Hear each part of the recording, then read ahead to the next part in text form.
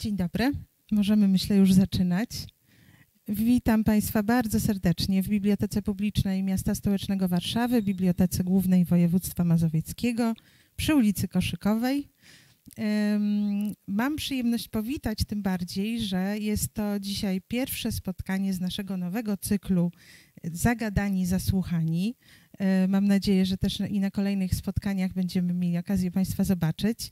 E, dzisiaj naszym gościem jest e, pani Agnieszka Kołodziejska, dziennikarka, prezenterka radiowa związana z Radiem Z, prowadząca program telewizyjny Polacy za granicą i autorka książki Polacy na emigracji, dlaczego i po co wyjeżdżamy, którą zresztą mam tutaj trzymam ze sobą. Dzisiaj e, o tej książce, ale nie tylko, bo myślę, że dużo ciekawych tematów poruszymy. E, z panią Kodziejską porozmawia Michał Markowicz, e, na co dzień mój kolega z biblioteki, debiutujący dziś w roli prowadzącego, także zapraszam serdecznie.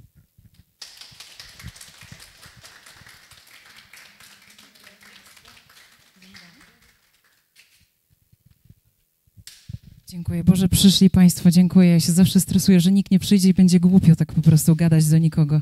Dzięki, cieszę się. Dzień dobry Państwu.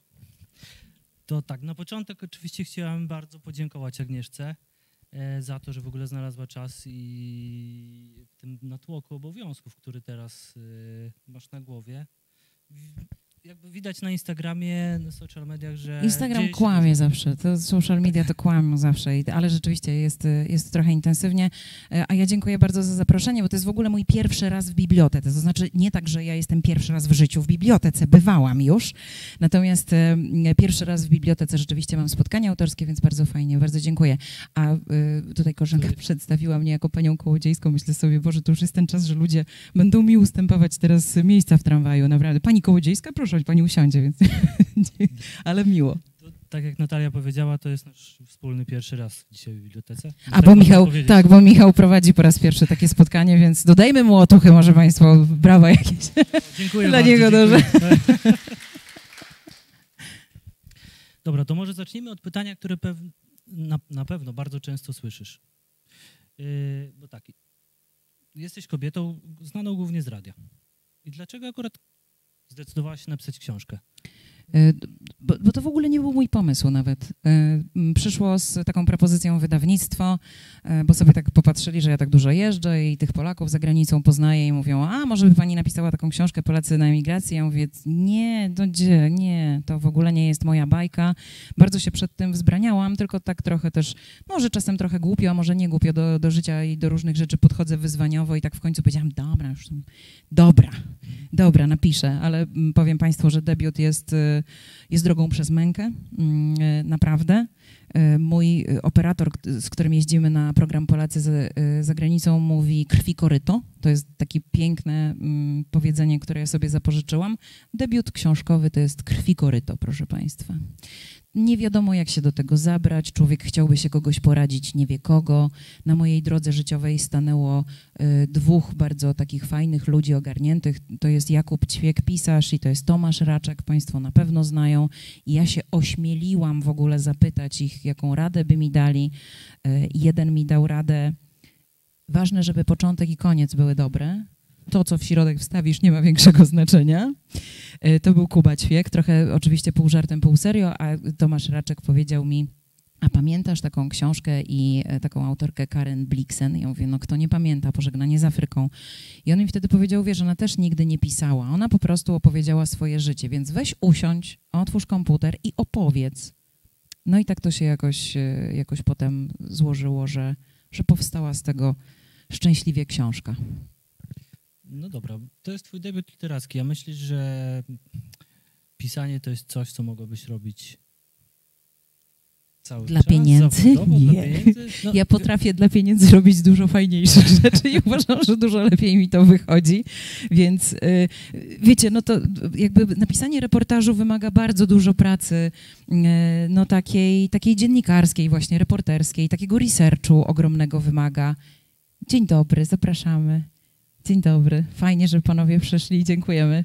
E, więc, e, więc to jest tak, taka, słuchajcie, praca trochę żmudna jednak. I jak ktoś pracuje w mediach, które się bardzo szybko zmieniają, jak ktoś nagrywa program telewizyjny, w którym przez trzy dni jestem w Kambodży, a przez następne trzy dni jestem w Wietnamie, a jeszcze przez następne trzy w Tajlandii, to to, żeby usiąść do książki i napisać i przez rok ją pisać, to jest taki przeskok, że w ogóle ty nie wiesz, w jakim świecie jesteś. Więc tak sobie myślę, że, że fajnie, że mam taką przygodę, ale czy, czy ja bym to chciała robić? Nie wiem, nie wiem. No też nawet nie wiem, czy potrafię, to państwo muszą ocenić w ogóle. Okej, okay. a rozumiem, że książkę pisałaś przez rok? No ale pewnie materiały zbierałaś dużo, dużo dłużej, prawda? Bo... Nie, to, to wszystko rzeczywiście tak? zajęło rok. Tak, przez pół roku zbierałam materiały, y, rozmawiałam z ludźmi. Kiedy miałam już komplet, y, wtedy wyjechałam na dwa miesiące kręcić y, program Polacy za granicą, a później, dzień dobry, a później przez kolejne pół roku pisałam, także zamknęłam się ze wszystkim w ciągu 12 miesięcy. Rozumiem. Okej, okay, a w jaki sposób dobierałaś tych bohaterów w książce? Bo te osoby przedstawione przez ciebie są bardzo zróżnicowane, pochodzą z różnych krajów. I czy miałeś jakiś klucz, nie wiem, może to byli znajomi, bo też, też pojawia się tam bardzo często y, oczywiście Łódź. Tak, tak, rzeczywiście. Y, jest kilka osób z Łodzi, jest moja siostra, jest Angelika, która mieszka w Kuwejcie w tej chwili, która bardzo dużo podróżuje y, i, i, mieszka w ogóle, mieszkała w życiu w bardzo wielu krajach. Y, właśnie tym kluczem był taki trochę brak klucza, to znaczy mnie zależało na pokazaniu właśnie jak największej różnorodności, bo nie chciałam zamknąć się w świecie tej emigracji, którą wszyscy jakby dobrze znamy, to znaczy dla nas naj, ta, ta najbliższa emigracja jest nam znana, prawda? My zazwyczaj mamy jakichś takich, nie wiem, znajomych, być może kogoś z rodziny, kto mieszka w Niemczech, na Wyspach Brytyjskich, E, gdzieś w Holandii, gdzieś tutaj blisko. Natomiast ta daleka emigracja trochę już nam jest e, mniej znana. Mm, I, I, zależało mi właśnie na tym, żeby się nie ograniczać gdzieś tutaj do, do, do, tej bliskiej, tylko naprawdę sięgnąć i tak jakby zagarnąć z całego świata po troszeczku tych Polaków i, i właśnie pokazać, jak oni są różni, w jak, w jak różnych miejscach żyją. Okej, okay, a czy takie rozmowy z, z, tymi bohaterami były trudne dla ciebie? Czy to było no wiesz, coś, to... co Coś, co tak łatwo ci przychodziło i... Wiesz co, mnie łatwo przychodzą rozmowy z ludźmi. Mam wrażenie, że, że, że, szybko zawsze łapię kontakt, jestem dosyć otwarta, jeżeli trafię też na otwartego człowieka, a otwartymi ludźmi są emigranci na pewno, bo państwo wiedzą, że żeby w ogóle pojechać gdzieś i odnaleźć się w innej kulturze, w innym świecie, z innymi ludźmi, trzeba być człowiekiem otwartym, no bo inaczej to nie wyjdzie. Więc tutaj miałam to szczęście, że skoro wszyscy jesteśmy e, otwarci na siebie, to, to, to, te rozmowy naprawdę przebiegały bardzo super. A czy było trudno? Kurczę, no było kilka takich rozmów, że ja musiałam, no... Kto z Państwa jest po lekturze w ogóle tej książki? Zapytam. Kto z Państwa przeczytał? Tam jest taka historia y, ludzi z Holandii, takiej pary, która straciła dziecko. I to jest historia, która mogła się przytrafić każdemu i wszędzie. To nie musiało się zdarzyć w Holandii. Ludziom w Polsce też się przytrafiają takie rzeczy. Tylko oni akurat o tej historii z różnych powodów, trochę takich autoterapeutycznych, postanowili mi do tej książki opowiedzieć. I to była tak cholernie trudna rozmowa, że ja ją w ogóle podzieliłam nie tylko nawet ze względu na nich, y, bo oni też nie, nie wytrzymywali już w pewnym momencie rozmowy na ten temat i tych wspomnień, y, ale też ze względu na siebie, bo ja też nie, nie byłam w stanie dźwignąć. To była najtrudniejsza rozmowa, jaką ja w moim całym życiu zawodowym y, odbyłam. Mało tego, kiedy skończyliśmy, wydawało mi się, że ja ten temat już jakby zgłębiła, to okazało się, że mam kilka wątpliwości, ale ja już nie miałam odwagi wracać do nich po raz czwarty, do tej rozmowy, żeby jakby znowu odgrzebywać te rany. E, I ja już wtedy postanowiłam porozmawiać z ginekolożką, e, którą ktoś mi polecił i ona mi wyjaśniła pewne zawiłości, o które ja po prostu nie miałam śmiałości pytać, bo to było tak ciężkie, do tego stopnia, że jak nagrywałam audiobooka, bo również czytałam swoją książkę, to realizatorka dźwięku która była w studiu obok, e, na tym rozdziale się zawiesiła i mówi, wiesz co, Kołotka, czy my możemy przerwać na chwilę i pójść na kawę, bo ja już nie mogę. I mnie już też broda się trzęsła, ja już też nie mogłam dalej czytać, bo to jest właśnie historia z takiej kategorii, że to mnie położyło i w ogóle ja musiałam to przetrawić potem przez miesiąc, żeby w ogóle wrócić do tego i to spisać. Rozumiem. No nieźle. A uważasz, że oprócz emigracji było coś, co łączy po prostu tych twoich wszystkich bohaterów? No wiesz co, chyba ta właśnie otwartość taka na ludzi i na świat. Ja, ja, nie wiem, jak Państwo myślą, ale ja myślę, że emigranci to są trochę inni ludzie niż my. To znaczy, my, to, my jesteśmy, wielu z nas jest na takim etapie, ja to bym chciała. wyjechać. No, tak sobie myślę, marzę, o tam y, Zenek jest w Australii, ale on ma fajowskie życie, ja też bym tak chciała, ale trochę się boję. Natomiast tam ci ludzie po prostu to zrobili. Oni mają to wspólnego, że coś im nie pasowało tutaj. Bardzo często tak jest. Oczywiście powody emigracji są bardzo różne. To jest często miłość, to jest często praca, to bardziej ekspaci, to, bo to też jest taki troszeczkę podział na emigrantów i ekspatów. Ekspaci to są jednak ci, którzy wyjeżdżają do pracy, bo ktoś ich tam na przykład wysyła do tej pracy, oni mają tę pracę zapewnioną, czyli to są ludzie, którzy nie jadą szukać dopiero i ustaw ustawiać sobie życia, tylko oni mają, wiedzą, co będą robić, mniej więcej wiedzą, jak długo tam będą. Mm, ale to ich właśnie chyba łączy, że, że coś im tutaj jednak nie grało. No bo nawet jeżeli wysyłają cię do pracy z twojej firmy za granicę, to zwykle nie jest tak, że ty musisz przyjąć tę ofertę, prawda? Jeżeli bardzo nie chcesz, to nie musisz, no nikt cię nie zmusi do tego, żebyś wyjechał teraz na drugi koniec świata pracować dla swojej firmy. Możesz to robić z Polski nadal. Ale oni chcą. Więc coś im jednak nie pasowało tutaj, gdzie się urodzili, gdzie przebywali, gdzie, gdzie się wychowali, że po prostu wyemigrowali. A czy ty miałaś może w swoim życiu taki taką myśl, żeby wyjechać za granicę na stałe może? Ja mam takie myśli co tydzień. Naprawdę, tylko że to jest, no właśnie to jest e, taka trudna decyzja, bo mm, jak, ludzie, którzy wyjeżdżają, to są ludzie, którzy y, myślą sobie tak, nie mam nic do stracenia, w zasadzie niewiele tutaj mam, co zostawiam, czyli tak naprawdę ja nie zmieniam jakoś dramatycznie swojego życia, no po prostu, no nie no jasne, i jadę do innego kraju, nie wiem jak będzie, nie wiem czy mnie ludzie zaakceptują, nie wiem czy się odnajdę, ale to jest jednak taki e, wyjazd, który podejmujemy decyzję, że okej, okay, nic mnie tu nie trzyma. No mnie trzyma praca, którą ja strasznie lubię i która jest pracą, której nie mogę wykonywać w innym języku. I mimo, że płynnie mówię po angielsku, to nie mówię po angielsku tak jak native i nie mogę y, pracować. Ja nie wiem, czy Państwo pamiętają w konkurencyjnej stacji, w tej żółto-niebieskiej, był kiedyś taki koleś, który się nazywał Brian Scott. I Brian Scott był takim gościem, który mówił tam, wiecie, kali być, kali mieć. To było śmieszne w tamtych czasach. Dzisiaj to już jest... Nikogo to nie śmieszy, że ktoś w ten sposób mówi nie, nie traktuje się takich ludzi poważnie zazwyczaj, tak? To jest raczej już taka maskotka dla stacji, nie wiem, telewizyjnej albo radiowej i chyba nie do końca mi o to chodzi, żeby pojechać gdzieś i, i gdzieś tam się przepychać właśnie w ten sposób. Mm, więc, więc to jest ciężko zostawić. Jest ciężko zostawić pracę, którą się kocha, no bo mogłabym wyjechać i robić coś innego, ale ja nic innego nie umiem. Okej, okay, no a mm, Napisałaś e, tą książkę, rozmawiałaś z wieloma bohaterami, ale oczywiście oprócz książki jest też telewizja. E, I e, jak to powiedzieć?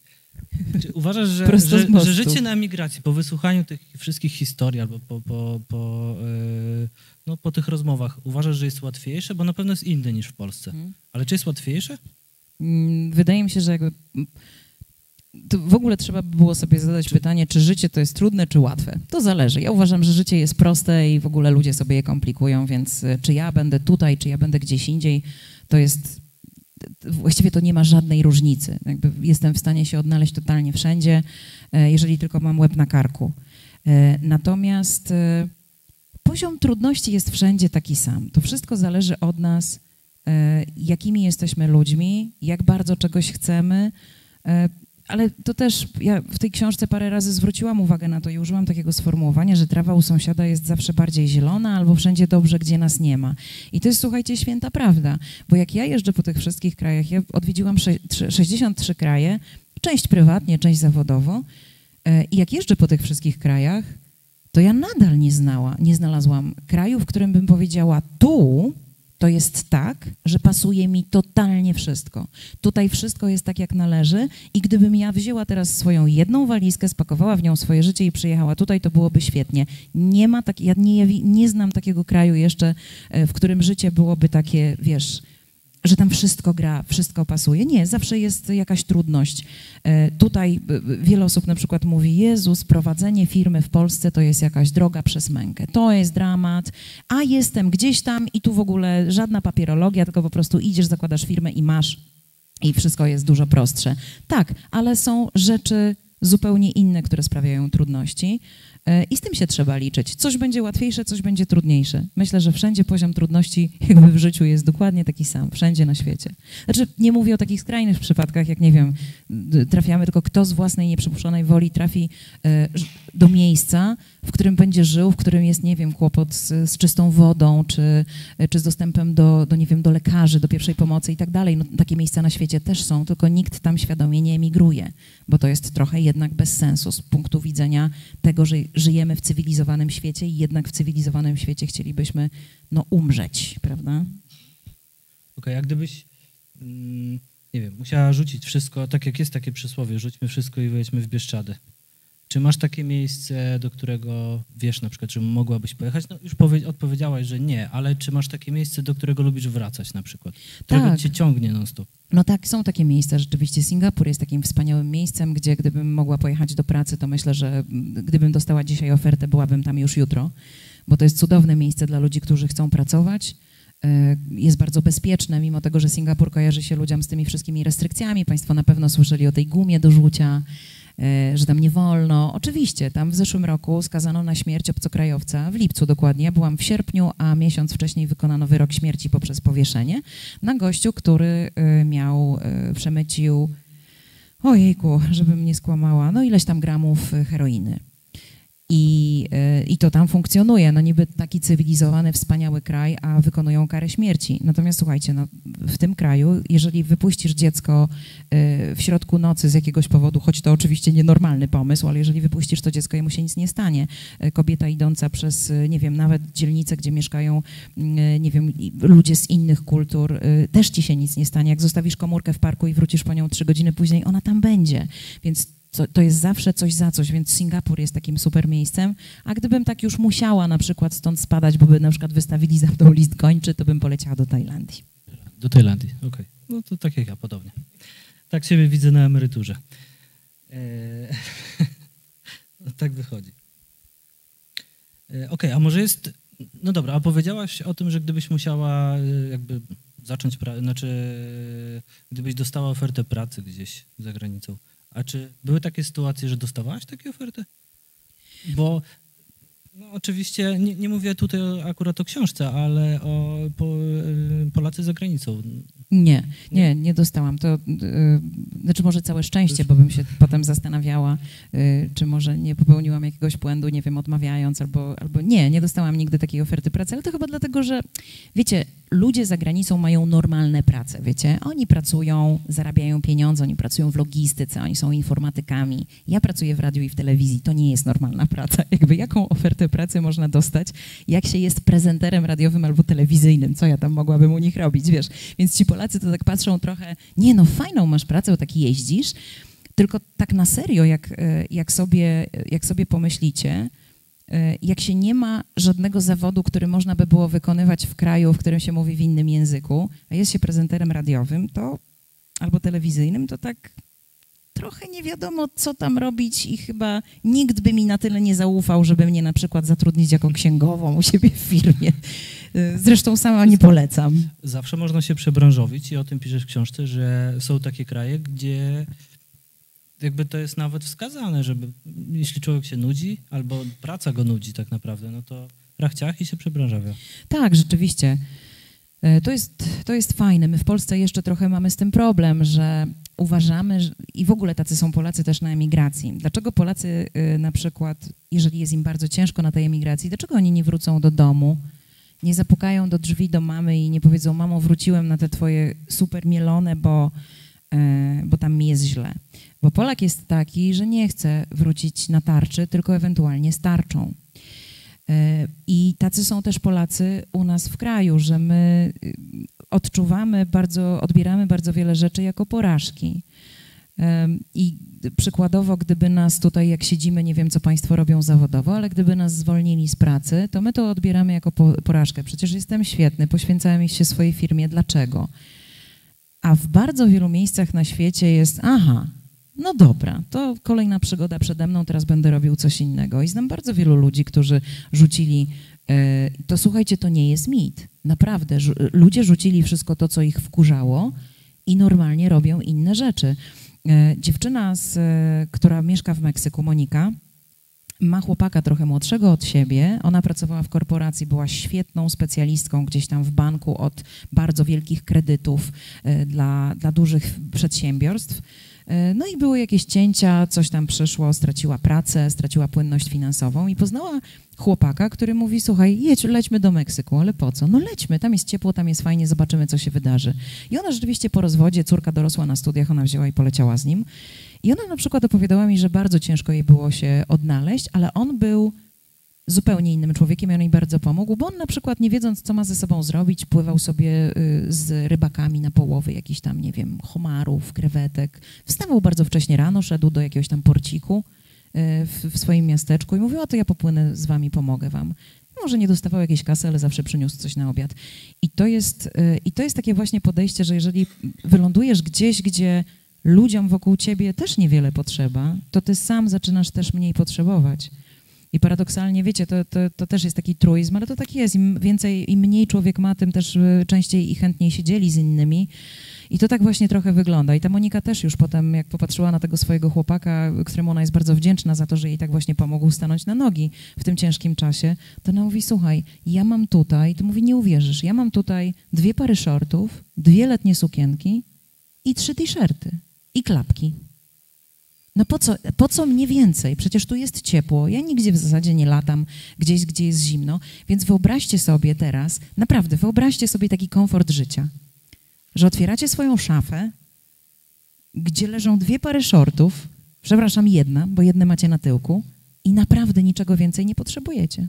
Jak te się zabrudzą, to idą do prania, wierzysz? No i to jest wszystko. Tam nie ma 17 par butów, tam nie ma rajstop, tam nie ma kozaków. E, to jest fantastyczne oczywiście, ale nie każdy się też do tego nadaje. I niektórzy by powiedzieli, nie, no proszę cię. No nie, ja się lubię wystroić i pójść do klubu. Jest tam klub nocny, nie ma, no to ja nie jadę. Tacy też są. No tak. E, no dobra, a masz takie miejsce, w których wie, czy masz takie miejsce, gdzie na, wiesz, że na pewno nie mogłabyś e, żyć, mieszkać i funkcjonować? Pewnie. To zawsze ludzie się na mnie obrażają, jak mówię, że w Kanadzie. Chyba żartujesz, przecież Kanada jest taka super. W Kanadzie umarłabym z nudów. Naprawdę?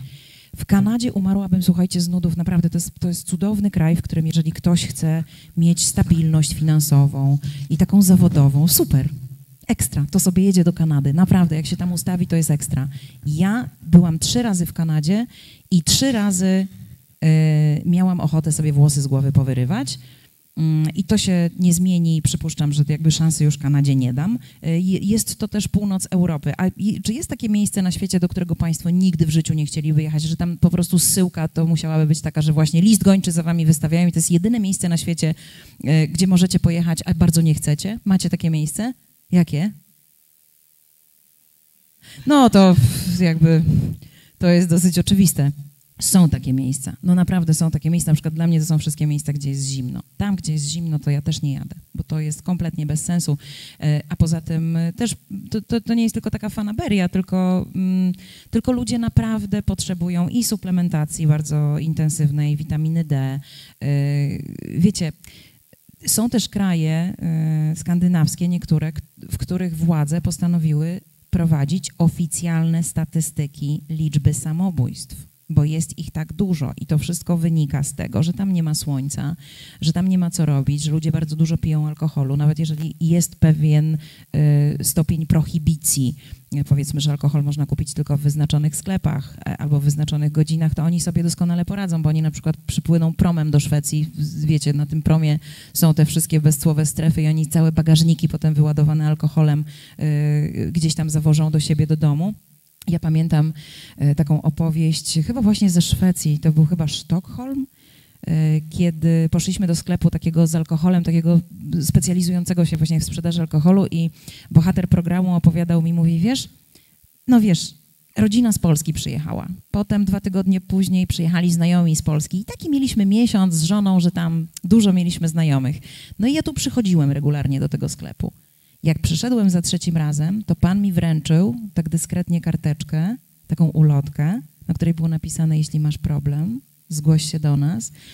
No tak, no właśnie. Ale no, jestem w stanie w to uwierzyć, bo jak byłam w Sztokholmie i to był sobotni wieczór, to była godzina 21.30, skończyliśmy zdjęcia do programu i z kolegą operatorem chcieliśmy coś zjeść, to musieliśmy sobie sami ugotować. Sobota, duże miasto, duże, no duże, y, spore miasto europejskie. Sobotni wieczór skończył się mecz hokejowy, wszyscy wyszli z knajp, knajpy zamknięte. Więc y, to chyba jest też takie, takie dołujące w takich miejscach. No ale to jest, mówię, to jest kolejny dowód na to, że to jest coś za coś. Masz, y, masz smutno, ciemno, szaro, zimno i, i wszyscy biorą cię za alkoholika, ale dobrze zarabiasz.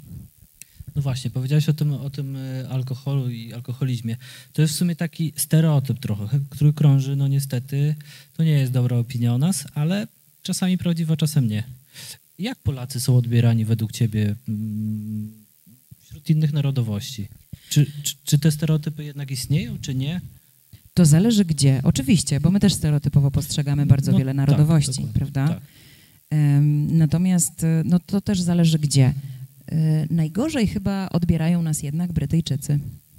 Mm, no, im się tam daliśmy we znaki, bo do Wielkiej Brytanii można się na to obrażać, można mówić, że to jest nieeleganckie, ale no tak było. Do Wielkiej Brytanii pojechali trochę ci, którym się nie chciało pracować.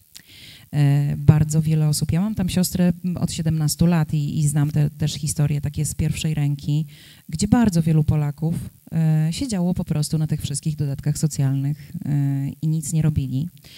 Bardzo często do tej pory tak siedzą i to, Brytyjczy, to, to u Brytyjczyków w, w ich oczach sprawiło, że no, zostaliśmy trochę postrzegani jak lenie. Z drugiej strony Mm, to jest taki właśnie paradoks Polaka na Wyspach Brytyjskich, że oni bardzo chętnie nas zatrudniali, ponieważ byliśmy jednak bardziej pracowici niż Brytyjczycy i potrafiliśmy trochę więcej. Znaczy nadal potrafimy, chociaż bardzo wielu Polaków z Wysp Brytyjskich po Brexicie wróciło. E, ale w Wielkiej Brytanii nie mamy za dobrej opinii, natomiast przeważnie w świecie mamy. A z tym alkoholem i z tym, że Polacy piją dużo, to rzeczywiście jest stereotyp. Ja nie wiem, czy się Państwo zgodzą, ale my ten stereotyp sami powielamy. Sami powielamy ten stereotyp. Ja się nie raz i nie dwa złapałam na tym, że jadąc gdzieś na wakacje, poznając obcokrajowców, e, ostatnio na przykład Niemców i Hiszpana na ostatnich wakacjach, e, gdzie w grę wchodził jakiś alkohol, powiedzmy, na wieczornej posiadówce, i ja na przykład proponowałam coś mocniejszego, oni mówili, nie, ale to takie mocniejsze, a ja mówiłam wtedy, ludzie, ja jestem z Polski. I, i sama wychylilibymy. I ja tak sama sobie zdałam sprawę z tego, że sama się przyczyniam do rozpowszechniania takiego stereotypu o Polakach. A to nie jest prawda, bo my wcale najwięcej e, nie pijemy. My jesteśmy naprawdę na jakimś tam nastym miejscu w ogóle na liście najczęściej, najwięcej pijących narodów, więc wcale nie jesteśmy takimi pijakami, chociaż wypić potrafimy. E, no jakby tego się nie wyprzemy nigdy i to chyba już z nami zostanie po prostu. Ale jesteśmy postrzegani jako pracowici jako tacy ludzie, którzy bardzo fajnie się dostosowują do zastanych okoliczności, że jesteśmy bardzo elastyczni e, i mamy generalnie naprawdę niezłą prasę w świecie. Naprawdę, to bardzo jestem z tego dumna. A czy możesz, nie wiem, podać takie kraje, gdzie, gdzie my jesteśmy tak postrzegani? To, nie wiem, taka, taka złota rączka na przykład. Czy... E, wiesz co, Y, ja nie, nie, wiem, czy Państwo pamiętają, była taka historia we Francji, kiedy tam ktoś, e, nie wiem, czy to był prezydent, czy ktoś zaczął tam wykrzykiwać jakieś takie hasła propagandowe, że Polacy, oni tu nam zabiorą w ogóle pracę, że musimy się pozbyć w ogóle tych wszystkich obcokrajowców, właśnie zwłaszcza Polaków, y, bo co to, czy my nie mamy własnych hydraulików? I tak sobie wtedy pomyślałam, mhm, Jakbyście mieli własnych, to byście nie zatrudniali naszych, bo ja jak potrzebuję porządnego hydraulika, to go znaleźć nie mogę. Pamiętam, jak mnie mój e, kolega Niemiec zapytał, jak wróciliśmy ze wspólnych wakacji w, w, Tajlandii. Ja wróciłam do Polski, on do Niemiec i ja mówię, słuchaj, mam po prostu w domu jakiś Saigon, bo właściciel mieszkania, które wynajmuje, wymieniał okna yy, i coś tam się też zepsuło i ja to wszystko muszę sama zrobić. On mówi, dlaczego ty nie zatrudnisz kogoś, żeby ci to zrobił? Ja mówię, wiesz dlaczego? Powiem ci dlaczego. Bo wszyscy nasi fachowcy są u was. Dlatego nie mogę. Bo po prostu to nie jest tak, że ja na telefon, że naprawdę znajdę kogoś od ręki. I trochę to jest tak właśnie, że na przykład Francuzi, wiesz, oni trochę będą psioczyć, albo Brytyjczycy, że im zabieramy pracę, ale naprawdę mamy świetnych fachowców. Naprawdę. I oni bardzo chętnie zatrudniają nas właśnie jako fachowców od takich rzeczy. Więc powiem wam, że cała ta branża, nie wiem, budowlana powiedzmy, E, lekarzy jest mnóstwo też polskich na świecie. Trudno powiedzieć tak, wiesz, trudno to generalizować, że w tym kraju to nas szanują, a w tym to tam uważają, że pijemy za dużo. Nie, to tak, ale o Wyspach Brytyjskich, to już, to już wam powiedziałam, że tam mamy tak hmm, średnią opinię, ale bardzo sobie uważam, na nią zapracowaliśmy, za, zasłużyliśmy, więc no tutaj bym jakby o, to, o, o te opinie nie kruszyła już kopii, no. No u nas jest teraz podobnie. Ja mam wrażenie właśnie, że też mówimy o osobach, które przyjeżdżają do nas do Polski, że nam zabierają pracę. Czy może nie nam, ale mm, tak chyba bywa. Dokładnie, a poza tym my też psioczymy na Brytyjczyków na przykład w Krakowie. E, to już tak kolokwialnie się mówi, że nikt nie zrobi takiej trzody w Krakowie jak Brytyjczyk, prawda? No ale no, no tak to jest, no a może my po prostu, a może my się gdzieś tam mamy jakieś przyciąganie między sobą, bo trochę jesteśmy podobni na przykład, nie wiem, może dlatego moja siostra, która y, trochę psioczy na to, że, że a, w tej Wielkiej Brytanii to już nie jest tak fajnie jak było, może dlatego ciągle tam jest, bo, bo jednak trochę czuje się jak u siebie, no. A jak myślisz, jak na emigracji Polak z Polakiem jak żyją? Jakie mają relacje? Jak to jest? Bo, bo tutaj A mamy, są... mamy czas do 23? Mamy, oczywiście. Te, też są takie stereotypy, że na przykład, nie wiem, Polak Polaka oszuka, albo, ale też jest tak, że Polak Polakowi potrafi pomóc. I jak to jest według ciebie? No to akurat nie są stereotypy. Polacy, mm, Polacy bywają dla siebie okropni na emigracji, zwłaszcza na tej bliskiej emigracji. E, taki, mam takie spostrzeżenie i bardzo wielu Polaków, z którymi rozmawiałam przy okazji pisania tej książki, mi to potwierdziło, że, że mogę mieć dużo racji w tym, że im bliżej, e, im bliższa emigracja, tym jesteśmy dla siebie gorsi, wredniejsi, a im dalsza, tym jesteśmy bardziej przyjaźni i sobie pomagamy. Dlaczego? Na tej bliskiej emigracji traktujemy się jak konkurencję, na rynku pracy zwłaszcza. Pamiętam takiego Maćka z Brazylii, który mi opowiadał o tym, jak pracował w Wielkiej Brytanii wśród Polaków, i jak w firmie, w której pracował Polacy, donosili na siebie nawzajem do szefa. I on mi powiedział taką jedną rzecz, która mi uświadomiła, że on w ogóle jakby mentalnie w ogóle nie jest polski. Że on, dobrze, że on tam osiadł w tej Brazylii mieszkał też bardzo długo w Azji, bo on by się tutaj zamęczył. On mówi, słuchaj, ja tego nie rozumiałem, bo dlaczego on donosił do tego szefa? Przecież on za to nawet premii nie dostawał. To jest dobre pytanie. Dlaczego? Właśnie po to, żeby kosić konkurencję, wydaje mi się, bo Polacy lubią pracować i żyć na tej bliskiej emigracji w takich polskich bańkach. E, I to jest oczywiście niedobre. Natomiast na tej dalszej emigracji, żeby zostać, słuchajcie, y, i być zatrudnionym w takim, nie wiem, Szanghaju, w takim Tokio na przykład, albo nie wiem, w Rio de Janeiro czy w São Paulo, tam trzeba przejść poważne sito przez poważne sito. To nie jest tak, że tam sobie może pojechać każdy i tam, jak, a jakąś tam robotę znajdę. To nie do końca tak jest, bo to już jest tak inna kultura, tak inna mentalność, tak inny system, wszystko jest tak inne, że to jednak e, nie jest takie proste. I tam tych Polaków ostatecznie zostaje niewielu. Wyjątkiem są Stany Zjednoczone, w którym Polacy są i tacy, i tacy, i rzeczywiście jest nas tam wielu, a jest daleko. E, Stany są po prostu specyficzne ale, y, ale w takiej Brazylii na przykład ludzie się bardzo wspierają, bo oni wiedzą, że jak coś pójdzie nie tak, to oni nie mogą szybciutko y, kupić sobie Ryanaira, y, który za dwie godziny dostarczy ich do mamy właśnie na tego kotleta, oni nie mogą sobie tak szybko wrócić, tam po prostu zostaną i dlatego oni się tak wspierają, dlatego są tacy serdeczni dla siebie i te Polonie są tam cudowne, słuchajcie, one są malutkie, ale one są cudowne. Ja tam się czuję fantastycznie wśród tych ludzi. Nie ma czegoś takiego, że ktoś na kogoś powie, wiesz co, a Danka, to powiem ci naprawdę, ona w ogóle do nas nie pasuje. A jak się jedzie do Anglii, albo do Niemiec, albo gdzieś do Holandii, to właśnie tak jest. Oni będą się obgadywać, oni będą na siebie y, gadać, oni będą na siebie donosić. Y, naprawdę bardzo, bardzo niefajne historie słyszałam. One są niektóre opisane w tej książce, e, więc polecam, ale też bardzo fajne historie słyszałam, więc e, no słuchajcie, jeżeli w Brazylii jest grupa taneczna, która ściąga czasem nielegalnie stroje ludowe do tańców naszych ludowych polskich i oni się spotykają na przykład raz na miesiąc w takim klubiku, żeby sobie potańczyć. Z YouTube'a biorą w ogóle te układy taneczne, e, uczą się tego po to, że jeżeli jest jakieś polskie święto, to żeby oni mogli zaprosić innych Polaków i jakby uprzyjemnić im ten czas takim występem. Więc to jest fantastyczne. To jest też pielęgnowanie jakiejś takiej e, kultury, tradycji polskiej gdzieś tam na obczyźnie. Oni też mają często jakieś tam małe dzieci. E, fajnie, żeby te dzieci też jakoś tam jeszcze e, tej kultury naszej polskiej liznęły, więc to jest fajne. Oczywiście nie każdy ma zupełnie potrzebę, e, żeby to zrobić i żeby to pielęgnować, bo, e, bo ludzie czasami myślą, zwłaszcza ci tacy młodsi, z tej młodszej emigracji, oni sobie myślą, a po co ja mam uczyć w ogóle mojego dziecka języka polskiego? Dziadek z babcią mówią już po angielsku, są całkiem młodzi jeszcze, na co ten język polski, po co, po co mu się przyda temu dziecku. Ja mam jeszcze go, mm, ma od poniedziałku do piątku zajęcia, ten dzieciak ma jeszcze potem jakieś pływanie, jakieś sztuki walki i ja mam go jeszcze w sobotę do polskiej szkoły prowadzać, przecież to dziecko potem jest w niedzielę nieprzytomne. I ja to też gdzieś rozumiem. Trochę szkoda czasami, a z drugiej strony no każdy, każdy wybiera mm, jakąś tam drogę. Ja też tego nie oceniam i uważam, że, że jeżeli tak sobie myślą, to, to niech sobie tak robią. Mhm.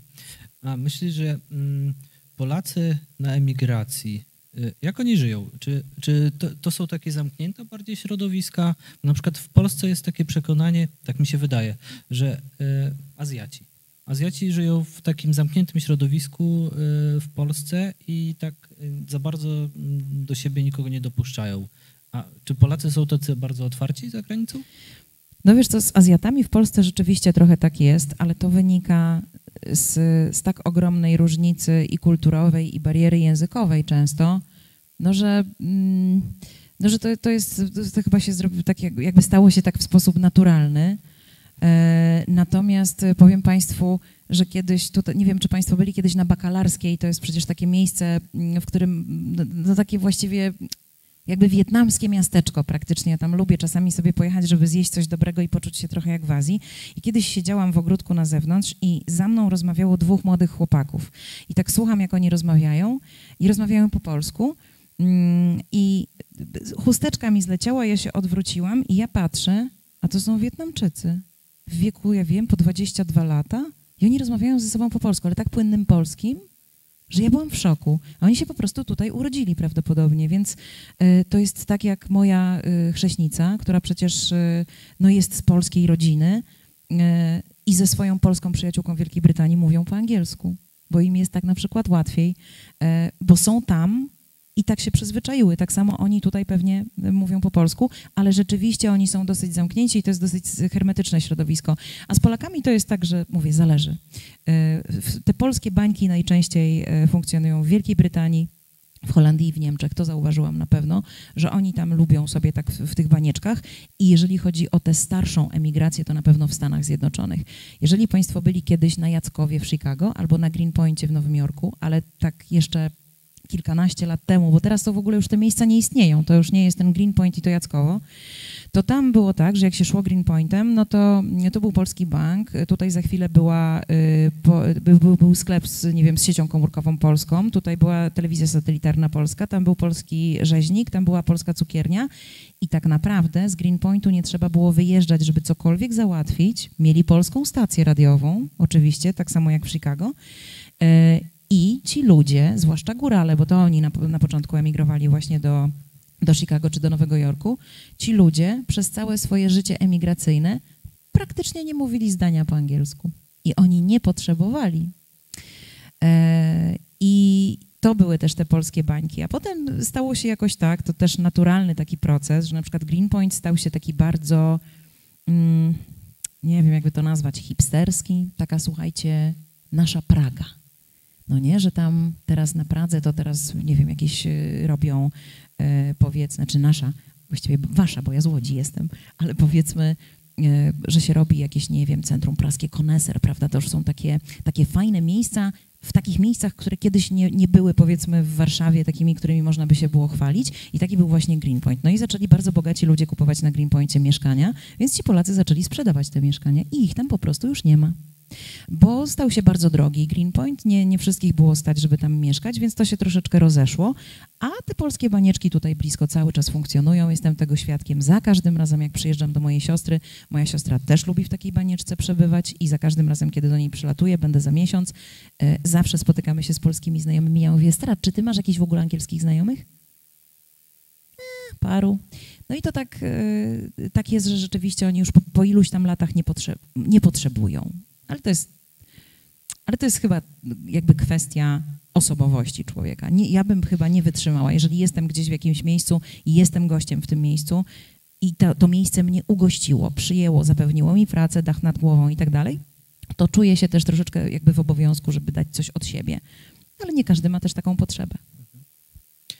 W swojej książce e, bardzo dużo, może nie wiem czy bardzo, ale dużo miejsca poświęcasz codzienności Polaków na emigracji. Czy było coś takiego, co cię zszokowało albo coś, co ci utkwiło w pamięci?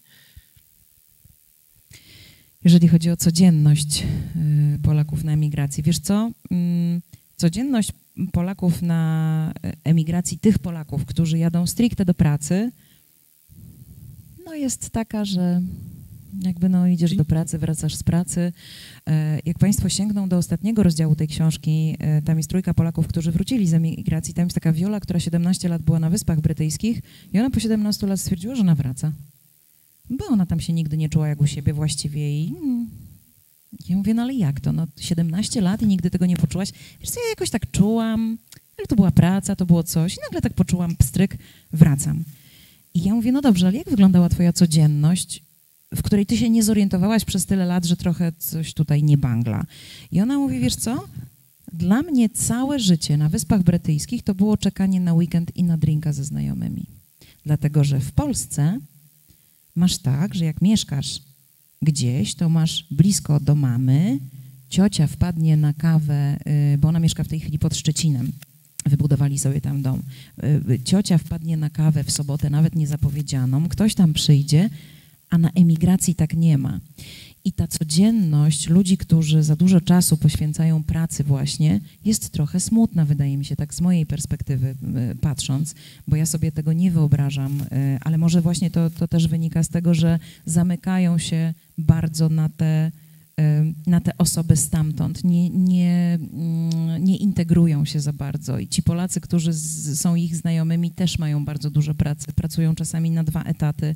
E, jakby nie ma czasu się spotkać w tygodniu. To życie nie wygląda normalnie. Ja wiem, że jest wiele osób też w, pracy, w, w Polsce, których życie znaczy, co to jest normalność? No to też zależy, tak? Dla, kogo, dla każdego to jest coś innego. Ja też nie wyobrażam sobie pracować po 10 czy 12 godzin, bo wieczorem nie miałabym już ochoty na nic. Niektórzy mają na to czas i siłę, ale ta codzienność, wiesz co, chyba właśnie e, zaskakuje mnie najbardziej ta Wielka Brytania, gdzie ludzie kompletnie nie mają życia prywatnego w tygodniu. Oni zupełnie, jeżeli oni już pracują, to, to pracują, nie spotykają się i rzeczywiście życie w Wielkiej Brytanii, po, wie bardzo wielu Polaków w Wielkiej Brytanii polega na tym, że oni żyją od weekendu do weekendu, żeby spotkać się w weekend mm, w pubie i, i wypić piwko ze znajomymi, bo to troszeczkę niestety tak wygląda. Ale czy mnie jakoś tak coś zaszokowało albo zaskoczyło? No może, y, może Brazylia i, i Maciek, który praktykuje ayahuaskę, nie wiem, czy Państwo znają. Dla tych, którzy nie znają, to powiem, ja tam też nie, niespecjalnie wiem dokładnie, na czym to polega, ale z tego, co, co on mi opowiadał, to jest taki, to jest taki rytuał z użyciem naturalnej substancji, która działa halucynogennie i mm, to jest nielegalne, ale jeśli robi to szaman w ramach takiego rytuału, to jest wtedy legalne. Więc idzie się do takiego szamana, na przykład do dżungli, to wtedy podobno robi największe wrażenie. E, no i przyjmuje się y, to coś doustnie. E, efekt jest taki, że ma się jakieś mega halucynacje i tam dzieją się jakieś niestworzone rzeczy. No ludzie mówią, że rozmawiają z morzem wtedy na przykład i że to w ogóle zmienia całe ich życie. I e, to jest element codzienności Maćka z São Paulo, który razem ze swoją żoną bardzo intensywnie to praktykuje i oni mając nawet dwójkę dzieci już w tej chwili, no oni po prostu regularnie, jak tam czasami, nie wiem, raz w miesiącu na przykład, no to idą sobie na taki rytuał tej ayahuaski i oni uważają, że to naprawdę poprawia jakość ich życia i że to jest super. Więc to mnie trochę zszokowało, bo ja myślałam, że ayahuaska to jest coś, co trzeba zrobić raz w życiu i jakby dziękuję. To żeby jakby zobaczyć, prawda, bo to różnych rzeczy ludzie lubią, lubią próbować. Gdzieś tam y, można rzeczywiście, jeżeli się jest bardzo ciekawym, no ale żeby to praktykować... Y, raz w miesiącu, to, to, to mnie rzeczywiście zaskoczyło i bardzo zaszokowało. Zaszokowało mnie też to, że oni tak mocno wierzą w jakiś tak, taką sprawczą moc tego rytuału, że kiedy umarło im dziecko, a umarło im dziecko, które miało chyba trzy miesiące po urodzeniu, e, no to, to w trakcie jakby te, całego tego procesu walki o życie tej dziewczynki oni też e, byli na tym rytuale i tutaj próbowali. Ja, ja, sobie zdaję sprawę z tego, że rodzic, który jest postawiony w takiej sytuacji, no to też chwyta się wszystkiego. Gdyby mu kazali tańczyć nago e, na drzewie, to też by prawdopodobnie to robił, jeżeli miałoby to przynieść jakiś efekt. Ale zaskoczyło mnie rzeczywiście to, że oni tak bardzo wierzyli w to, że to pomoże, że oni na tę ayahuaskę nawet poszli właśnie w takim celu. Więc y, tak, to jest chyba taka rzecz, która mnie najbardziej zaskoczyła i zaszokowała. A jest jeszcze jedna rzecz, przepraszam, bo to, y, to z kolei, słuchajcie, Chiny. Y, czy Państwo wiedzieli, że na, na białych ludzi w Chinach na przykład mówi się white monkey, czyli biała małpa? Otóż tak. I to nie jest jakieś tam obraźliwe bardzo czy coś, ale mówi się white monkey i dla młodego człowieka y, w jakimś takim y, fajnym miejscu w Chinach, to wydaje mi się, że to jest super sprawa, żeby pojechać i zarobić właściwie nic nie robiąc, bo mm, w wielu y, dużych chińskich miastach jest tak, że mm, jak są imprezy w klubach, to Chińczycy bardzo lubią sobie robić z Europejczykami, zwłaszcza białymi, zdjęcia. I wystarczy, że zadeklaruje się, jak jest się gościem takiego klubu, zadeklaruje się chęć pozowania do zdjęć z Chińczykami to, to już mamy drinki za darmo na przykład w takim klubie. E, do tego stopnia mają tam świra na punkcie białych, że zatrudniają białych DJ-ów. Przy czym nie trzeba być DJ-em, żeby być zatrudnionym jako biały DJ. Oni ci przygotują cały set i dadzą ci cały sprzęt, a ty tylko będziesz udawać, że miksujesz i to w zupełności wystarczy, ponieważ biały w takim klubie podnosi prestiż miejsca. Nie do końca to rozumiem, jak to działa, ale, ale tak to jest i to z takiej codzienności właśnie chińskiej to mnie też uderzyło i tak pomyślałam sobie, kurde, naprawdę? Ale taka codzienność y, na emigracji też na pewno wiąże się z, z, bezpieczeństwem albo z niebezpieczeństwem.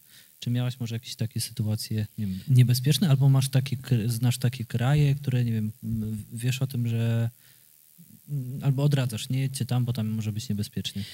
No, przyznam szczerze, że nigdy żadna taka niebezpieczna sytuacja, no może raz zdarzyło mi się rzeczywiście e, w, w, w Kolumbii. Pan był zbyt ekspansywny w, w stosunku do mnie, ale dobrze się wszystko skończyło. Natomiast no może szokować, że jak się pojedzie na przykład do Ekwadoru, to można się dowiedzieć, że w parku w Boże Narodzenie o 12 w południe koleś będzie was gonił z maczetą, żebyście mu oddali portfel i komórkę z maczetą. E, więc tak rzeczywiście jest. Ja na przykład z Ekwadoru e, byłam trzy dni w Ekwadorze, nie mam pół zdjęcia w ogóle. Nie potrafiłabym Państwu udowodnić w zasadzie, że byłam w Ekwadorze, ponieważ wszyscy mnie tak nastraszyli, że mnie obrobią, napadną w ogóle. I jeden z bohaterów tej książki, którego spotkałam właśnie w Ekwadorze, bardzo młody chłopak, szedł sobie ulicą i rozmawiał na jakimś wideokomunikatorze z ojcem, który był w Polsce. I w pewnym momencie podjechał koleś na motocyklu, wyrwał mu tę komórkę i pojechał. I to, co przeżył podobno ten ojciec, bo on myślał, że ten chłopak miał wypadek i że po prostu nie żyje, bo z nim nie było żadnego kontaktu. I on bardzo szybko wrócił do domu i zalogował się na Messengera z komputera i powiedział, tato, wszystko jest w porządku, po prostu zabrali mu komórkę, ale chłopak tam chyba stracił tych komórek z siedem już do tej pory, więc, więc to jest tam na porządku dziennym. Są takie kraje, rzeczywiście w Brazylii wszyscy nas ostrzegali, jak, jak wyszliśmy z operatorem e, i on wyszedł z kamerą telewizyjną, taką niewielką, bo my naprawdę z, z niewielkim sprzętem jeździmy nagrywać i jest nas tylko dwójka. Jak wyszliśmy w Rio de Janeiro e, z hotelu, z recepcji przed hotel, to wybiegła za nami przerażona recepcjonistka zapyta, i zapytała nas, co my, co my robimy. Ja mówię, no my idziemy program kręcić. Przecież was okradną. No nic takiego się nie stało, bo też Polacy, którzy nam towarzyszą wtedy, no oni są no oni tam żyją, oni wiedzą, co robić i gdzie nie chodzić, żeby, e, żeby było bezpiecznie. Ale proszę sobie wyobrazić na przykład taką Argentynę, no bo fawele są nie tylko w Brazylii, bo my zwłaszcza, my Polacy kojarzymy fawele z Brazylią zwłaszcza, ale są też w Peru na przykład, w, w Limie są ogromnie, ogromne, rozległe. E, w, w RPA przecież, e, w, no i właśnie w, w Argentynie. I pamiętam, jak byliśmy w Argentynie, Buenos Aires i no i widzimy, że, że tutaj już coś tak dziwnie zmienia się krajobraz miejski. I bohaterka programu mówi nam, no tutaj zaczyna się fawela i tutaj nie wejdziemy. Na co mój operator, który kiedyś naprawdę straci życie, słuchajcie, ma, jest, są granice brawury, dla niego nie ma, więc on mówi, nie, nie, my musimy mieć ten materiał, my tam musimy wejść z tą kamerą. Ja mówię, wiesz, Stel, mimo że to nie jest najlepszy pomysł, no ale stali policjanci obok dwóch policjantów i ta dziewczyna zapytała, czy by nas nie mogli eskortować kawałek w tej faweli. E, słuchajcie, weszliśmy do faweli 100 metrów, przysięgam wam nie więcej. 100 metrów do faweli, w głąb faweli. Jeden policjant stał z przodu, drugi stał z tyłu i obaj mieli e, palec na spuście pistoletu i tutaj tak trzymali. E, I ja stwierdziłam, że ja nie muszę mieć tego materiału. Jak on chce, to niech on sobie idzie. Ja nie muszę tam iść. E, więc to, wiecie, krążą legendy bardzo często. Te fawele w Brazylii też są takie, że jest na przykład taka, w której bardzo chętnie widzą turystów. E, tam się jedzie taksówką na szczycie tej faweli z takim widokiem na całą fawelę jest, e, jest jakaś knajpa, więc oni bardzo chętnie, bo ty tam pieniądze zostawisz i to jest super. Więc tam ci się raczej nic nie stanie, jak jesteś turystą, bo oni wiedzą, że ty tu wrócisz, ewentualnie polecisz komuś, e, bo ludzie niestety, e, podróżnicy może mniej, bo dzielę ludzi na podróżników i turystów, ale turyści to mają czasami coś takiego, Słuchaj, pięknie było, wiesz? I ta biedota taka. Naprawdę, ludzie sobie tak czasami opowiadają, ale ludzie naprawdę lubią oglądać to, jak ktoś ma gorzej. No niestety tacy jesteśmy. Więc to jest, y, to, to jest tak, że, że tam na przykład w, w niektórych częściach tej faweli jesteśmy bezpieczni. Ale to naprawdę nie są pogłoski, to nie są takie mity, że a dobra, już ktoś przesadza. Nie, nie przesadza. Jeżeli ktoś, kto tam żyje, mówi ci, nie idź tam sam, bo naprawdę może ci się zdarzyć krzywda, to ja mu wierzę. I tak było z, z, dziewczyną z Magdą, która mieszkała w Rio de Janeiro, ponieważ nie stać jej było na mieszkanie przy Copacabanie, to było zawsze takie jej marzenie, no kto by nie chciał, więc mieszkała przez jakiś czas w faweli, bo wynajmowała y, mieszkanie bardzo tanio, no ale y, przez okno na przykład widziała, jak się strzelają, albo na przykład jej sąsiad zginął pod prysznicem. Wie, wie, wiedzą Państwo, jak zginął facet pod prysznicem w faweli w Rio de Janeiro? Ściany domu są praktycznie z kartonu i była strzelanina na ulicy. Facet stał pod prysznicem. Ktoś strzelił tak, że po prostu kula przeleciała i zastrzeliła i jakby zginął pod prysznicem. Więc to jest, to jest z jednej strony trochę śmieszne. Ja parsknęłam, jak usłyszałam tę historię, a potem sobie myślę, kurna, facet zginął pod prysznicem. No jakby, no kurczę. Więc to nie jest tak, że to są pogłoski i to jest trochę takie straszenie turystów. Nie, to nie jest straszenie turystów. Są miejsca na świecie, do których się po prostu nie chodzi bez y, odpowiedniego przygotowania albo bez kogoś stamtąd, bez, bez kogoś. Jak kręciliśmy program w, w Kapsztadzie, to mieliśmy lokalnego kierowcę i tak się zastanawiałam, po co nam właściwie kierowca? W żadnym kraju nikt nam nie wynajmuje kierowcy, ale mieliśmy tam kierowcę. E, to był akurat biały, południowoafrykańczyk i chcieliśmy wyjść na sekundę, żeby na takiej głównej ulicy, która jest bardzo rozrywkowa, w sobotę to było, żeby jakby sfilmować, jak ludzie się bawią, że, że, że jest fajnie, no wiecie, no, jak to człowiek jest w takim kraju, to chciałby też pokazać innym. I on powiedział, absolutnie nie. Na tej ulicy nie wolno mi was wypuścić z samochodu. Zawsze były drzwi poblokowane. I powiem wam, że to robi wrażenie, naprawdę. Ja już tam byłam w wielu miejscach, ja lubię podróżować sama, ale to robi wrażenie. I czasami też zadaję tym ludziom, którzy tam mieszkają, takie pytanie, dlaczego ty tu jesteś? No wiesz, no, jestem tu już tak długo, że po prostu wiem, jakich miejsc unikać, co robić, żeby jakby wyjść z tego cało, no nie? W związku z tym, że jesteśmy w bibliotece, to muszę o to zapytać. A zdarza ci się odwiedzać biblioteki w krajach albo w miejscach, które odwiedzasz? Celowo nie. Celowo nie, ale e, byłam e, na Kubie w Hawanie w bibliotece masońskiej która dzisiaj rozmawialiśmy e, z tak, Michałem. Dlatego to pytanie. Tak, jak mnie zabrał tam na kawkę e, w głąb biblioteki, to, to pomyślałam sobie, Boże, jakie te biblioteki teraz są piękne, jak to jest czysto, po prostu człowiek aż by chciał na tych wszystkich półkach sobie tam posiedzieć. E, kiedyś to wyglądało zupełnie inaczej. Pamiętacie, jak wyglądały biblioteki w latach, nie wiem, 60., czy 70., czy 80. nawet? I ta, tamta biblioteka na Kubie, to było, nie wiem, z 8 lat temu chyba, ona wyglądała cały czas w ten sposób. Mm, a, a byłam w tej bibliotece dlatego, że kobieta, która występowała w programie, 72 lata wtedy miała, Wiesia, e, była żoną Kubańczyka, masona, który już nie żył. I kiedy on zmarł, to oni tam w tym środowisku bardzo dbają o swoich i po to, żeby ona nie została bez środków do życia, e, to, e, to właśnie załatwili jej pracę w tej bibliotece masońskiej, więc ona tam była taką, taką no, bibliotekarką po prostu, więc bardzo miło wspominam tę wizytę, bo Jezu, tam były takie perełki, że słowo honoru, gdybym ja znała hiszpański, to tam było co czytać naprawdę. No to takie przedziwne, przedziwne miejsce i bardzo takie żywe wspomnienie cały czas. Biblioteka w Hawanie, masońska. A możesz nam zdradzić, jakie książki lubisz czytać? Jak często czytasz, albo czy, czy zdarzają się takie sytuacje, że wracasz do książek, e, które już kiedyś przeczytałaś? No właśnie tak się stało, przez to, że sama napisałam, to, to tak się stało, że poznałam kilku autorów innych książek i teraz muszę czytać ich książki w ramach jakby odwdzięczenia się za to, że oni też przeczytali moją, więc rzeczywiście mam sporo piętrzą mi się, nie oczywiście żartuję, bo, bo akurat e, tak się trafiło, że, że fajnych tych ludzi spotykam i oni fajne książki piszą, na przykład moja koleżanka, która jest matką chrzestną tej książki, Justyna Dżbik-Kluge napisała ostatnio mm, książkę o życiu zakonnic, Śluby Nieposłuszeństwa. Bardzo Państwu polecam, bo jest naprawdę świetna i trochę szokująca momentami. E, to na pewno, mm, e, to tak, ale ja uwielbiam, uwielbiam powieści. Ja na przykład do Johna Fowlesa, do Maga wracam bardzo często e, i mam takiego jeszcze, to, to jest moje guilty pleasure, jak to się mówi, jest taki autor amerykański, który się nazywa Christopher Moore i on napisał powieść Baranek. I on napisał żartobliwą, alternatywną historię Jezusa Chrystusa, życia Jezusa Chrystusa. Bardzo Państwu polecam, jest przezabawna.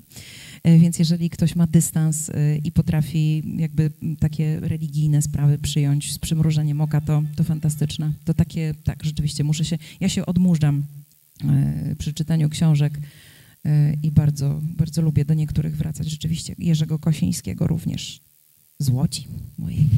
To ja sobie pozwolę zacytować panią Justynę Żbik-Klugę.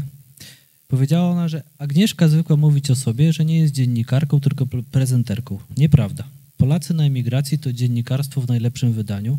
Idę o zakład, nawet o duże pieniądze, że to jej pierwsza, ale nie ostatnia książka. Czy to prawda? Nie wiem, jakie są Czy... dla Justyny duże pieniądze, ja bym się na jej miejscu nie zakładała. E, nie wiem, jakiś tam pomysł są jest, plany? ale tak jak powiedziałam na początku, napisanie książki to jest tak ciężka praca, jeżeli się nie robi tylko tego, tylko ma się jeszcze y, milion innych rzeczy, a ja milion innych rzeczy mam, a ja nie lubię rzeczy robić po łebkach, więc nie wiem, czy do niej w końcu przysiądę. Nie mam zielonego pojęcia, nie umiem na to pytanie odpowiedzieć. Chciałabym, bo mam, e, nie wiem, co Państwo sądzą, ale bardzo chciałabym podjąć temat odwrotny. Chciałabym się przyjrzeć życiu e, obcokrajowców w Polsce. Ciekawa jestem, jakim tu jest. Czy oni nas lubią? Czy oni uważają, że, że jesteśmy fajni? Czy jest tu im dobrze? Dlaczego tu przyjechali? Po co tu są, bo czasami jak widzę kogoś o takiej egzotycznej urodzie i myślę sobie, a mogłeś siedzieć, ciepło ci było, żeś przyjechał do Warszawy, zobaczysz, przyjdzie listopad, pogadamy. E, więc, e, więc bardzo bym się chciała przyjrzeć e, ich życiu, a, a czy to mi wyjdzie, to zobaczymy. Okej, okay, a czy jest coś, coś, coś takiego, co mogłabyś robić? Bo tak, w, w tym momencie zajmujesz się bardzo wieloma rzeczami telewizja, radio, podcasty, książka. Jakbyś musiała wybierać, to co byś wybrała? Co byś mogła robić po prostu tylko i wyłącznie? Jeżeli mam być czy, szczera. Czy w ogóle potrafisz coś takiego? Jeżeli mam być szczera i to nie będzie odpowiedź, która, mm, która będzie świadczyła o tym, że jestem osobą ambitną, wręcz przeciwnie. Mm, jeżeli mam być szczera, to e, najłatwiejszy sposób zarabiania pieniędzy w tej chwili to jest prowadzenie, słuchajcie, Instagrama, e, który ma e, dużo followersów ludzie z jakiegoś powodu chcą płacić za to, żebym na przykład zareklamowała krem. E, więc e, naprawdę, gdybym miała pójść na łatwiznę, to ja bym po prostu pojechała w świat, rozkręcała tego Instagrama i takim moim trochę marzeniem jest życie w podróży i życie z podróży. No, czy to jest możliwe i czy to wyjdzie, to oczywiście nie wiem, ale tak jak mówię, no to się też wiązałoby z porzuceniem pracy, którą bardzo lubię, więc zależy ale słuchajcie, naprawdę jest tutaj po prostu młody człowiek, dlatego też nie chcę kontynuować tego tematu, żeby nie wyszło, bo ja wiem, że młodzi ludzie chcą teraz być youtuberami i instagramerami, więc też nie chciałabym zasiać takiego ziarna może. E, no, ale jeśli, jeśli mam być szczera, to rzeczywiście, gdybym już musiała wybrać coś, to, to chyba najłatwiej jest, e, najprzy, inaczej, najprzyjemniej jest zarabiać pieniądze w ten sposób, naprawdę. Mówię całkiem szczerze. Co, ja się wygłupiam na Instagramie i ludzie mi za to płacą czasami. To jest niesamowite. Słuchajcie, ostatnio w TK Maxie dałam autograf. Przychodzę do pracy, mówię moim kolegom, dałam autograf w TK Maxie. Coś ty? Ja mówię, no. A jak to było? Ja mówię, no stoję na garach i tam jakąś patelnię oglądam. Podchodzi do mnie chłopak, taki ja wiem, z 25 lat i mówi, Pani Agnieszko, czy ja mógłbym? Ja mówię, oczywiście. Ja mówię, jeszcze selfiaka, dlaczego nie? E, I tak e, mam taką rozkminę i taka burza tam się dzieje. Ja mówię, skąd on mnie może znać? Ja mówię, radio, ja wiem, dwudziestolatek może nie słuchać radia. Pewnie program Polacy za granicą. Pytam go. On mówi, Pani Agnieszko, ten TikTok? Super. Ja mówię, Jezu, już uśmiechnęłam się, oczywiście zrobiło mi się miło. Znaczy udawałam, że zrobiło mi się miło, bo, bo tak sobie pomyślałam, kurde, 25 lat pracy w radiu, 10 w telewizji, koleś na garach w TK Maxie zaczepia mnie, bo mnie zna z TikToka. Więc to jest, no to jest inna rzeczywistość, słuchajcie, naprawdę. Z jednej strony to jest takie fajne, bo, bo jesteśmy świadkami takiej ogromnej przemiany w ogóle.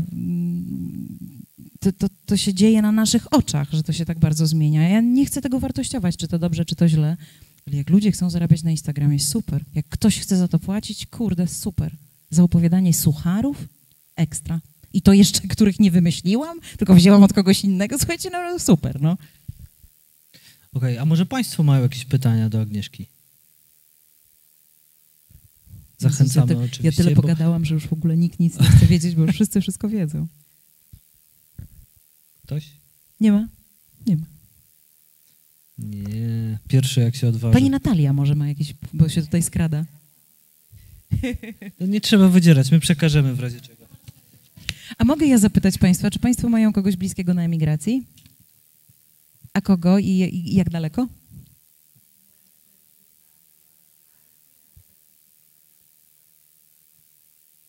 Malta fajna.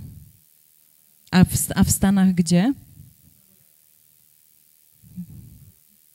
U, u okej. Okay. Brooklyn. Fajnie, bo to anglojęzyczne kraje. Yy, przyjaciółka, tak? Okej, okay. chwali sobie?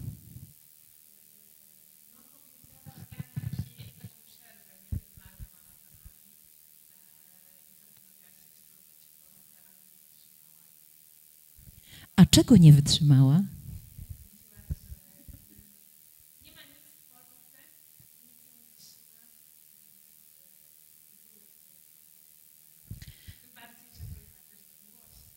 Okej, okay. to trochę inna bajka rzeczywiście. No tak, ale to troszeczkę działa jak narkotyk rzeczywiście, bo jak się zacznie wyjeżdżać, to się już wyjeżdża. Tak mi się wydaje. No chyba, że już że rzeczywiście to jest bardzo nie dla nas i, podejmujemy próbę, ona gdzieś tam spala na panewce i, i jednak nie, ale to działa jak narkotyk faktycznie. Za miłością bardzo często twoi bohaterowie wyjeżdżali.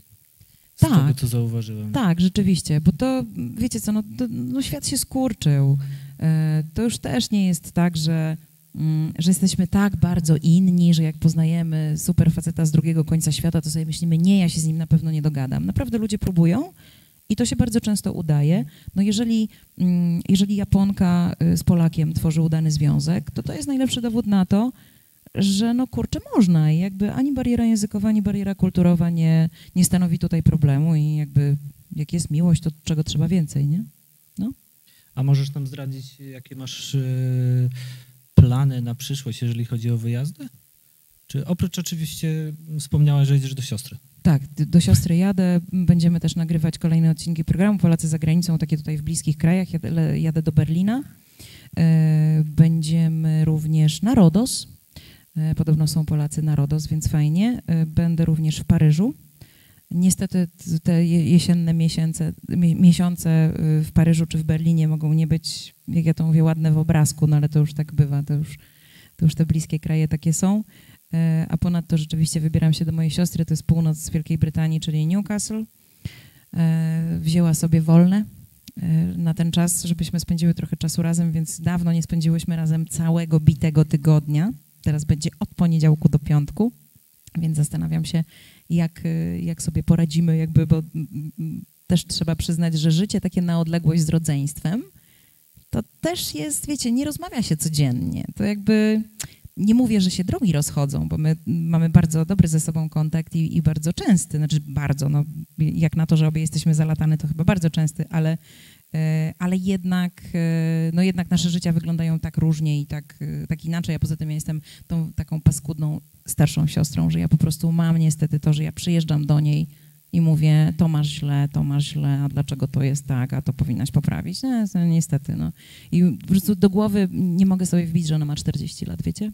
Serio. Ja ją traktuję jako tę Elcie, która wyjechała tam mając naście i, i cały czas tak, więc, więc czasami kończy się na tym, że, y, że jest jakaś mała awanturka, ale potem wjeżdża Jean Lubuski, który przywożę z Polski i jakby wszystko już jest dobrze. Może ktoś jednak zdecyduje się na zadać pytanie, czy nie? Pytam dlatego, że y, może Justyna nasz Big Klugen tego nie pochwala, ale przytykałem się z pytań. ale, ale to jest pytanie. Bardzo, bardzo piękna... To może y, przekażę mikrofon. Szczera nie, no jest szczery, jestem szczery. To może takie pytanie, jest takie państwo na świecie, gdzie jeszcze właśnie nie byłaś, a bardzo byś chciała pojechać? Tak, i oj, mnóstwo jest takich miejsc. Japonia jest na przykład też takim miejscem. Bardzo chciałabym zobaczyć e, to, o czym tylko zawsze słyszałam albo czytałam, że oni są takimi pracocholikami, że, mhm. że oni są tacy poukładani od do. Ja bym strasznie chciała przespać się w hotelu kapsułowym. Bardzo mhm. chciałabym zobaczyć te mikromieszkanka, w których podobno w ogóle, przecież to, to jest chyba pomysł właśnie Japończyków, co IKEA pokazała ostatnio, że można żyć na 10 metrach kwadratowych bez problemu, prawda? Więc, yy, znaczy bez problemu. No można żyć, więc no, bardzo, bym, bardzo bym to chciała zobaczyć. Mam nadzieję, że, że to się uda. Filipiny również chciałabym bardzo odwiedzić. Komuś jeszcze przekazać?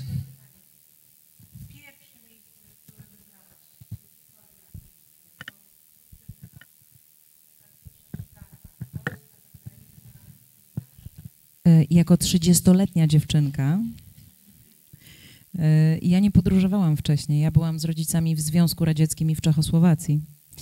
Więc ja zaczęłam podróżować mając 30 lat, bo wychodziłam za mąż i pomyślałam sobie, aha, byśmy w podróż poślubną polecieli. I pomyślałam sobie, że to nie może być. E, mam takiego kolegę, słuchajcie, to jeszcze taka dygresja, przepraszam, że tak na okrętkę. Mam kolegę w pracy, Michał Korościel się nazywa. Michał, jak się żenił, to powiedział swojej żonie, kochanie, Masz tutaj atlas taki papierowy, zamknij oczy, przewertuj i tam, gdzie się zatrzymasz i pokażesz palcem, to ja cię zabiorę w podróż poślubną. I to były Niemcy. Ale słowo się rzekło, podróżowali po Niemczech w podróży poślubnej. Strasznie im współczułam wtedy, zwłaszcza żonie. Ale cóż, y, i, y, i, ze mną tak nie było. Ja sobie pomyślałam, że no ja nie chcę tutaj gdzieś, ja jeszcze będę miała czas, żeby zobaczyć te nasze bliskie kraje i że chciałabym, żeby to było dalekie i kiedyś wpisałam sobie po prostu w Google najlepszy kraj dla początkujących, takich, żeby, żeby z plecakiem polecieć. I wyskoczyła mi Tajlandia. Mówię, dobra, to do Tajlandii. I rzeczywiście po miesiącu w Tajlandii stwierdziłam, że Jezus, podróżowanie, dlaczego ja tego nie, nie robiłam wcześniej? Gdyby ktoś mnie kiedyś zapytał, czego żałuję w życiu, to że nie podróżowałam wcześniej niż przed trzydziestką, bo bo to jest błąd, a nawet wielbłąd, żeby nie, nie podróżować, naprawdę. E, więc tak, więc to była Tajlandia, ale to nigdy nie było jakimś tam moim marzeniem. Ja zawsze, wiecie, fototapety, jak się jeszcze było dzieckiem, fototapeta z palmą, no nie, i z takim moszkiem, to zawsze było to, ale fajnie, fajnie, ale człowiek nigdy nie myślał, że, że będzie go albo stać, albo w ogóle, że będzie miał odwagę gdzieś tam polecieć, bo to zawsze było takie, no ale to ja, a jak się kupuje bilet na samolot? A jak jeszcze był internet, e, taki wiecie, że się przez tepsę łączyło, e, co tam klikało, tak? Pamiętacie? No właśnie, ja niestety też pamiętam. To w ogóle dla mnie była czarna magia. Ja nie, nie miałabym pojęcia w ogóle, jak się kupuje bilet lotniczy, jak, jak się w ogóle organizuje taką podróż. A potem jakoś zrobiło się łatwiej chyba właśnie przez internet. No i od tamtego czasu to, to rzeczywiście na tyłku trochę nie mogę usiedzieć i to też Państwu polecam, bo to naprawdę szkoda życia na niepodróżowanie, tak mi się wydaje. Michał wyprztykał się z pytań, ratujcie go. Co pytania?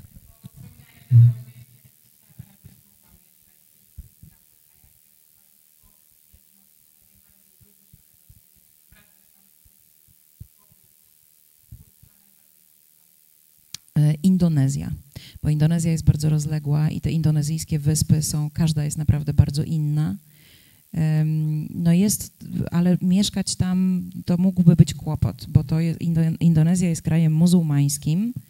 E, jedynie na Bali jest tak troszeczkę inaczej i, i to społeczeństwo jest bardziej otwarte ale, na Bali, ale Bali jest już teraz, ja mam wrażenie, że na Bali nie mieszkają już Indonezyjczycy, tylko influencerzy zagraniczni. Po prostu wszyscy mieszkają na Bali. Ja nie wiem, czy tam w ogóle jeszcze lokalsi mają gdzie mieszkać, bo wszystkie domy są wynajęte przez tych influencerów, więc tam to więcej się białych ludzi y, spotyka niż tych Indonezyjczyków, y, ale są bardzo, bardzo fajne miejsca y, w Indonezji, tylko też takie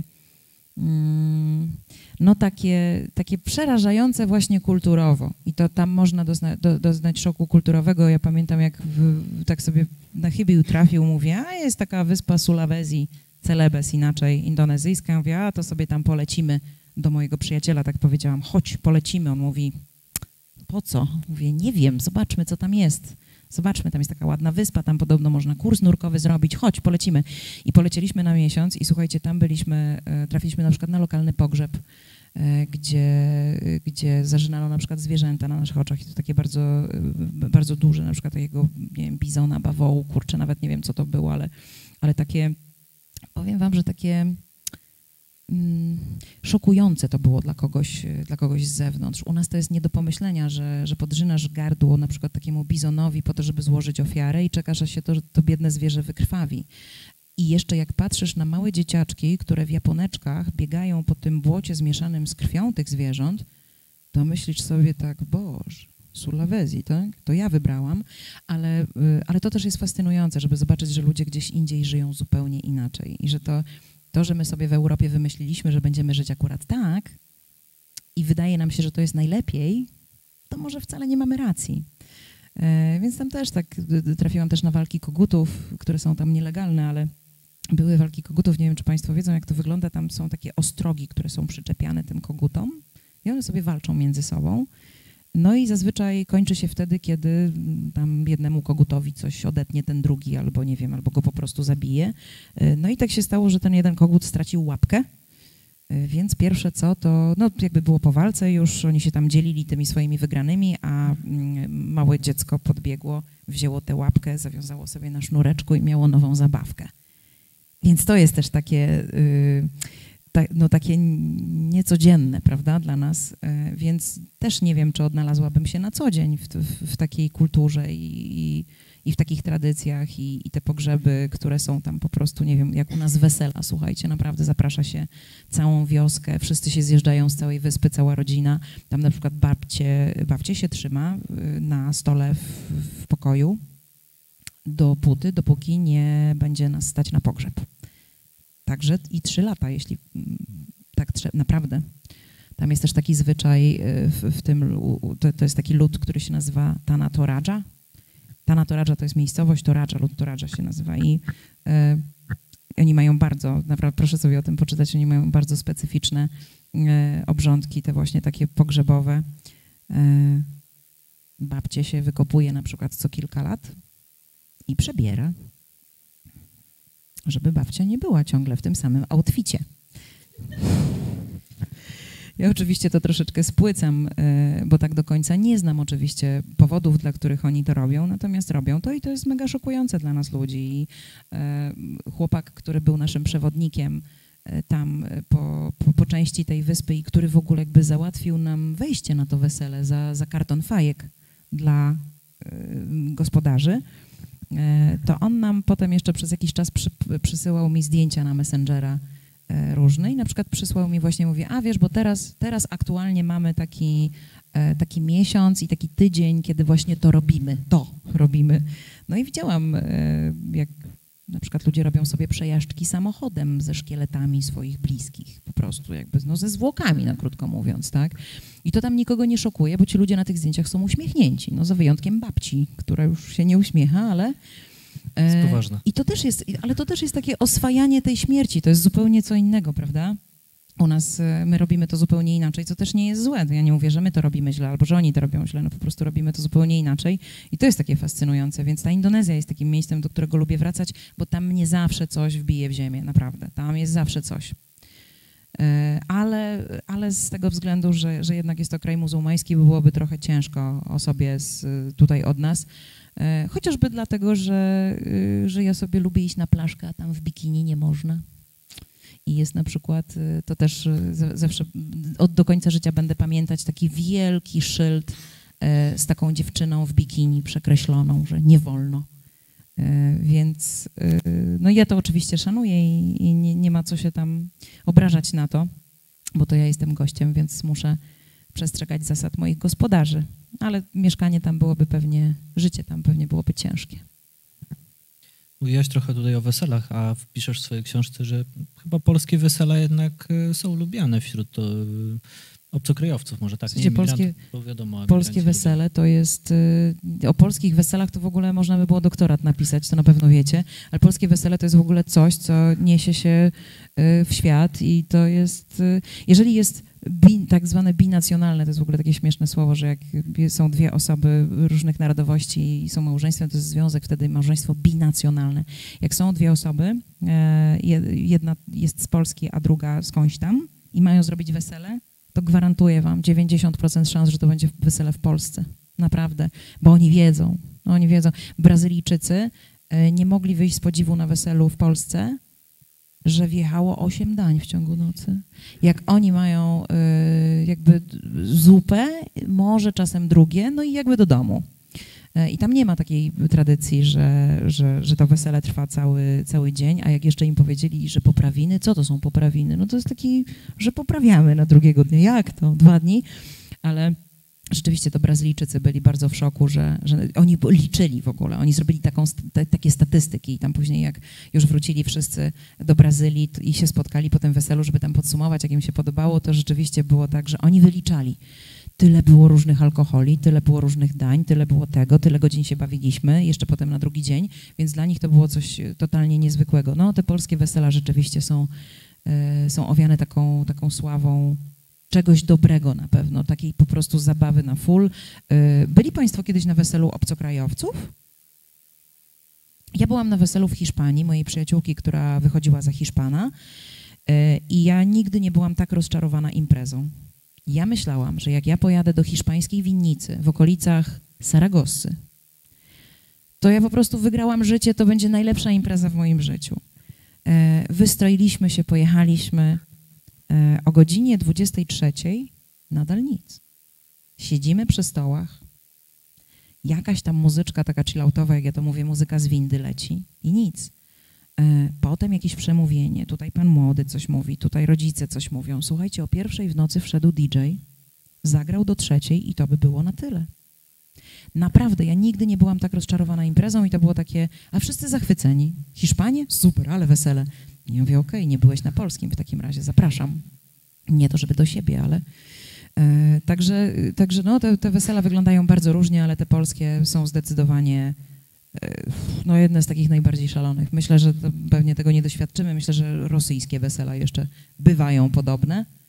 E, tak sobie to wyobrażam, ale no może tradycja, tradycja europejska jest taka zupełnie inna, bo tam daleko nie umieją się bawić. Mhm. Jeszcze raz, przepraszam. 63.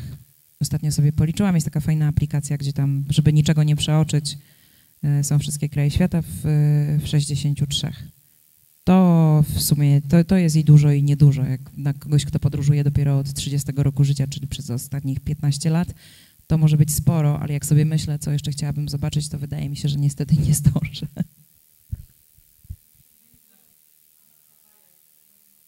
O Jezu. Chce pani, po, chce pani polecieć na Hawaje. Chce pani polecieć na Hawaje. Jeżeli Los Angeles, y, nie, była, nie byłam w Los Angeles, ale wszyscy mi mówią, że nie, nie trzeba, że to jest bardzo rozczarowujące miejsce.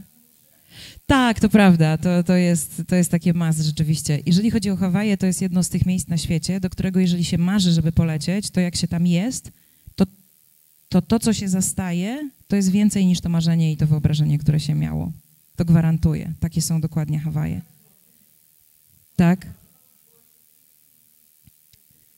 To, to ojejku, to jest cudowne, bo nie ma nic gorszego niż rozczarować się, jak się gdzieś jedzie, prawda? To jest tak, rzeczywiście. To tak jak ja byłam rozczarowana właśnie Kanadą, że ja nie mogłam uwierzyć, że tam jest tak. Prawda? Prawda? I ci, ci Paryżanie, którzy wcale nie są tacy fajni jak na filmach, nie? Mm. No właśnie. Tak, bo oni po angielsku nie, nie, nie życzą sobie, rzeczywiście. Hawaje, tak, Hawaje są wspaniałe i, i ta przyroda, która tam jest, i ta różnorodność klimatu, że jak się pojedzie już gdzieś wyżej, to jest zimno i deszczowo. Yy, No, ostatnio odkryłam, że na jednym z portali streamingowych jest y, cały sezon serialu Lost Zagubieni i przypomniałam sobie, że ja byłam na Hawajach w miejscu, w którym kręcono e, jakieś sceny z tego serialu I włączyłam sobie jakiś odcinek i tak popatrzyłam na to wszystko i na tę zieleń, która tak po prostu dawała po oczach. O rany. To jest coś niesamowitego. Wiecie, że oni y, Jurassic Park też kręcili na Hawajach, na polach golfowych? Tam są takie pola golfowe, że tam można filmy kręcić. Które w ogóle jakby nie, to, to, nie jest, to nie jest tak, że się kręci film o polu golfowym na polu golfowym, tylko film o dinozaurach. Więc, e, więc tam są takie tereny i takie przestrzenie. Coś niesamowitego. I, i ci ludzie, e, Hawaje są. Ja mam wrażenie, że Hawaje w ogóle nie powinny być amerykańskie, bo tam jest i kuchnia inna, bo ona jest taka, tam jest bardzo wielu Japończyków, więc ona jest taka bardziej japońska. E, I w ogóle jakby mentalność ludzi jest też zupełnie inna. To nie są tacy typowi Amerykanie. Więc ja się tam czułam właśnie troszeczkę bardziej jak w Azji niż jak w Ameryce, ale też z takim jakimś, jest taki jakiś też europejski trochę klimat. No mówię wam, no to jest w ogóle jakieś magiczne miejsce, że tam e, strasznie daleko, drogo, żeby dolecieć na pewno, ale bardzo, bardzo, bardzo też bym chciała.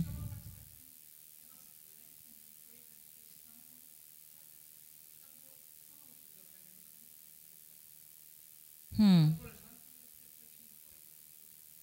Mhm.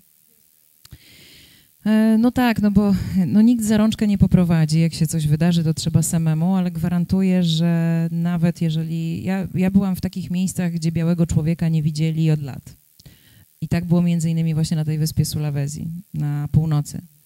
E, zrobiłam sobie tam tatuaż, tę palmę i ci ludzie z tego studia tatuażu robili sobie ze mną zdjęcia, bo nie mogli uwierzyć, że ja tam przyszłam po tatuaż, w ogóle, że ja tam jestem. Oni mnie pytali, co ja tu robię w ogóle. Ja mówię, że podróżuję. Ja, ale po co?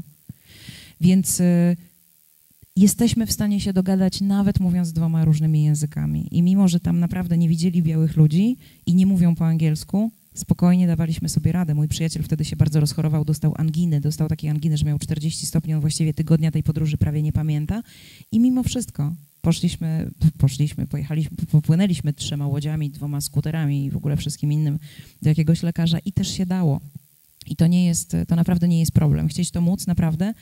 E, a wydaje mi się, że wystarczy sobie przekliknąć coś takiego w głowie, żeby uświadomić sobie, że wycieczka z biurem podróży niesie ze sobą bardzo wiele ograniczeń musisz robić to, co akurat jest zaplanowane. No bo inaczej ja to nie zdążę. Znaczy możesz się odłączyć od grupy, no ale nie, jakby nie po to się płaci e, za wycieczkę z biurem podróży, żeby się, żeby się potem od grupy odłączać. Ale mm, właśnie, wszystko, właśnie, wszystko robi się w swoim tempie. Można pominąć te rzeczy, które nas nie interesują. Można zobaczyć coś więcej. E, I jak się nie jest w grupie jakiejś takiej zorganizowanej w grupie z Polakami, to łatwiej się nawiązuje relacje z innymi ludźmi, z lokalsami też. To jest wspaniałe doświadczenie, bo jak się jedzie, jak ja, ja latam czasami ze znajomymi, na przykład w, nie wiem, w cztery albo w pięć osób, my nigdy nie przywozimy stamtąd żadnych znajomości. W zeszłym roku poleciałam sama, Hiszpan, Niemiec, właściwie trójka.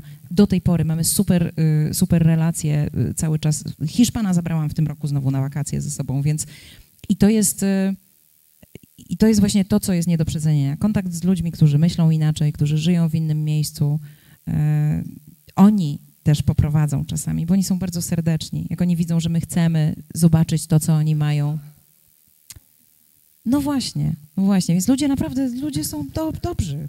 Tak, generalnie trafia się bardzo często, częściej trafiamy na ludzi dobrych niż złych, zwłaszcza właśnie w podróży. Ja mam takie doświadczenia przynajmniej, więc ja bardzo polecam, naprawdę, żeby się przełamać i żeby zostawić to biuro podróży, zadbać o wszystkie szczegóły, to naprawdę można dobrze i z głową zaplanować, nawet rok wcześniej i naprawdę zrobić sobie taką podróż życia samemu, bez ograniczeń czasowych, bez, bez ograniczeń też y, innych ludzi.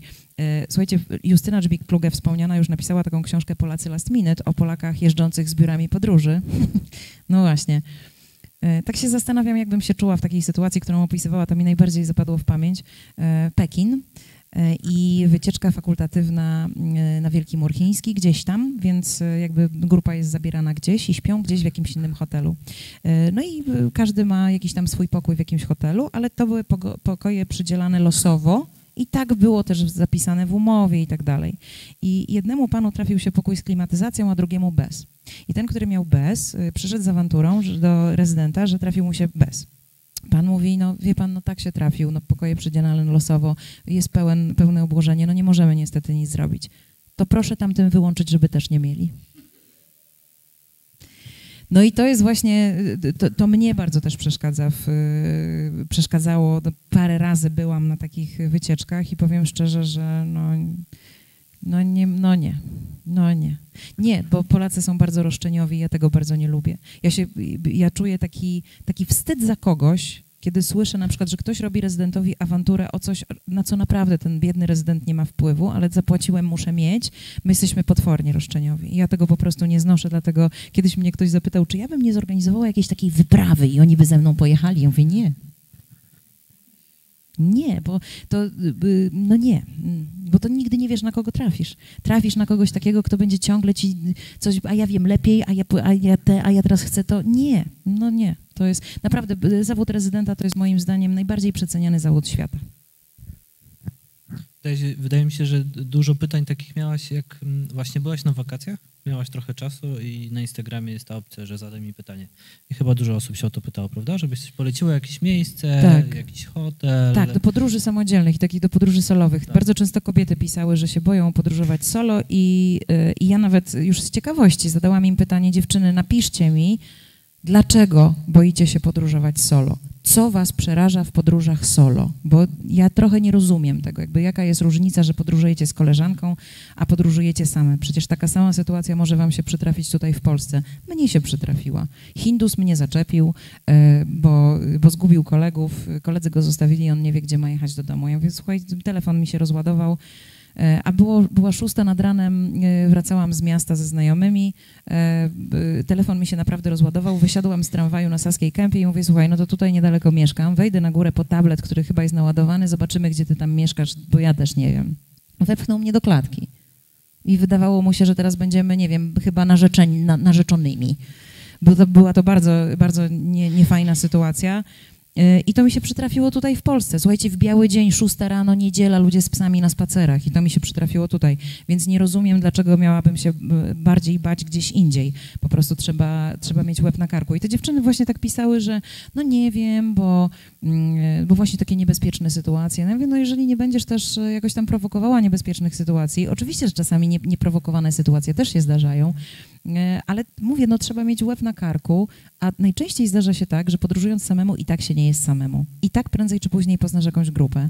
I tak ja po Kolumbii, słuchajcie, ja poleciałam na trzy tygodnie sama do Kolumbii ja ani razu nie byłam sama. Codziennie z kimś gdzieś spędza, spędzałam jakiś czas z jakimiś ludźmi, którzy też podróżowali, a to Brazylijczycy jacyś, a to Szwedzi, e, no to teraz ze Szwedami pojedziemy, no to dobra, no to trzy dni z kimś, ktoś potem już wraca do domu, ale poznaje się kogoś innego. I to jest naprawdę bardzo fajne, bo nie dość, że się poznaje ludzi, to jeszcze nie, nie jest się samemu, więc jakby to, to takie poczucie zagrożenia troszeczkę znika, że o, samemu jakbym była, to na pewno bym się coś złego przytrafiła, a tak to nie. E, ale dziewczyny czasami, wiecie co było śmieszne, że czasami dziewczyny pisały tak, bo jak będę oglądała ten piękny zachód słońca, to nie będzie nikogo obok mnie, żeby ze mną podzielić. Ja mówię, naprawdę? Serio? O to ci chodzi, że nie będzie tego typa, który ci po prostu będzie za uszami tam nawijał coś. Ty się ciesz tym zachodem słońca, że go masz. Mówię, wrócisz, y, znowu będziesz chodziła na randki z Tindera. Y, więc trochę, trochę tego nie rozumiem.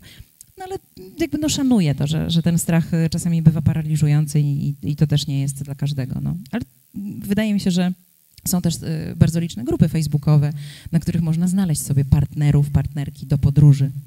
E, Polki w podróży, chyba coś, gdzieś należy do jakiejś takiej grupy, gdzie dziewczyny na przykład piszą, słuchajcie, planuję, nie wiem, po, po Rumunii taką wyprawę trzytygodniową, czy któraś chciałaby dołączyć. I dziewczyny się tam normalnie ugadują, że no to oczywiście, że trzeba się spotkać z kimś takim wcześniej, bo nie ma nic gorszego jak ktoś, kto nam psuje wakacje. No to już naprawdę wiem. Moja podróż poślubna trochę tak wyglądała i paradoksalnie nie był to mój były mąż, który zepsuł te wakacje.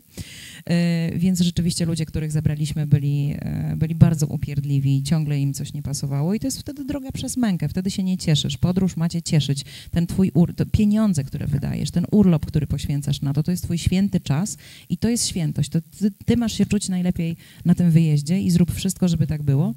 Dlatego te dziewczyny też tam piszą właśnie, że, że najfajniej to się jest spotkać najpierw, zobaczyć, czy mamy przelot, czy, czy się dogadamy. I można sobie w taki sposób nawet znaleźć partnera albo partnerkę do podróży wspólnej. I wtedy też nie jest się samemu, jeżeli już to trochę przeraża, tak? Bo, bo domyślam się, że niektórych może.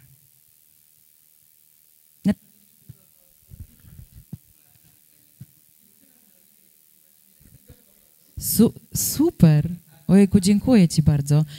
Pierwszy odcinek był straszny. Byłam w Sztokholmie yy, i, i zobaczyłam taki, takie miasto, które jest strasznie inne niż Warszawa. Mieszkacie w Warszawie? Od, od urodzenia mieszkasz w Warszawie?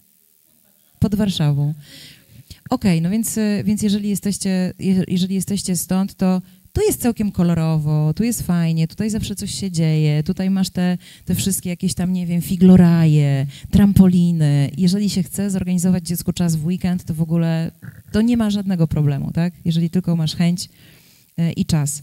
Natomiast tam miałam wrażenie, że w tym Sztokholmie nie ma nic i tak sobie pomyślałam, mój Boże, to jest mój pierwszy wyjazd na ten program. Zadeklarowałam się, że zrobię następne odcinki. Jak tak będzie wszędzie, to ja po prostu, o Jezu, to jest po prostu potnę. No, jak tak można? Więc ten, ten pierwszy odcinek to był taki dziwny, e, że tak patrzyłam na tych ludzi i trochę nie rozumiałam, dlaczego oni tam pojechali. Przecież w Warszawie jest tak fajnie ale potem już z każdym następnym było coraz lepiej, e, było coraz bardziej kolorowo i jak zaczęłam latać już, e, już do dalekich krajów, na przykład na Karaiby gdzieś, na taką Jamajkę albo na Kubę, widziałam te wszystkie kolorowe samochody i tych kolorowych ludzi wspaniałych i tych ludzi, którzy są zawsze uśmiechnięci i bez względu na to, ile mają, jak mało mają, to zawsze mówią, że jest wszystko super, jest wszystko ok, ale oni mają też dużo słońca, to pomyślałam sobie, kurczę, jak to dobrze, że świat jest taki różnorodny, Gdzieś jest tak, gdzieś jest tak. I fajne jest to, że dzisiaj mamy wybór i możemy sobie wybrać, gdzie chcemy żyć i gdzie chcemy mieszkać. Także mówię ci, nie, nie do Szwecji. Nie do Szwecji, na Karaiby. Spodoba ci się.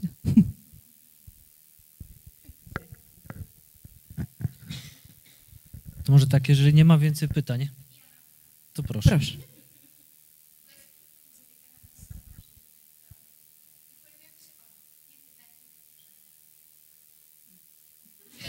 Mm.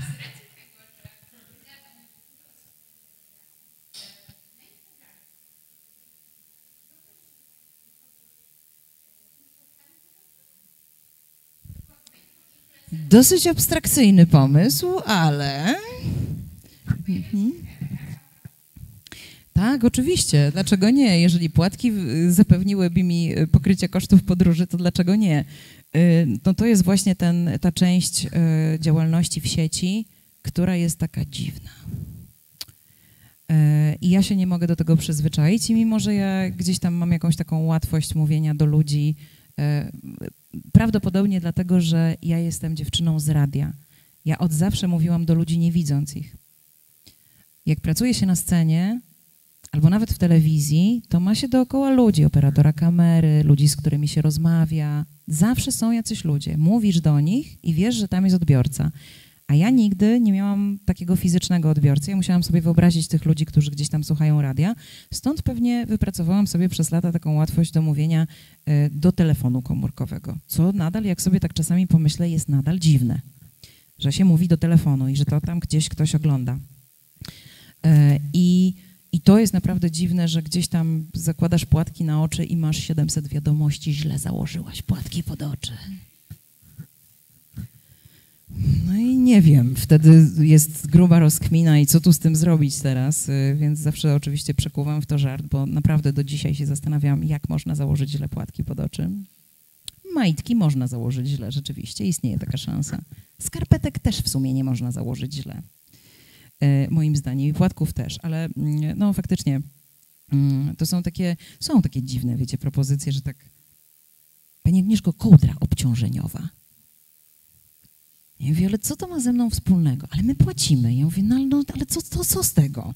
No jakby mam, nie, wyobra nie, wyobrażam sobie tego, naprawdę, słuchajcie. Ja mówię, nie, dlatego nikt by mi nie zaproponował pracy za granicą, bo oni nie wiedzą, że ja nie mam łuba do biznesu. No przecież normalna laska to by powiedziała, dobrze, ile płacicie, tyle, ja chcę więcej, dobrze, proszę. No i już tutaj ubilibyśmy interesik, ja bym zrobiła jakiś filmik, jak śpię pod tą kołdrą obciążeniową i pewnie kasa by się zgadzała. Natomiast trochę tego nie widzę, e, szczerze mówiąc, i, i pojawiają się takie kuriozalne propozycje, że uważam siebie za osobę kreatywną, natomiast no, nadal są granice brawury, których nie przekraczam, bo myślę sobie, no jak.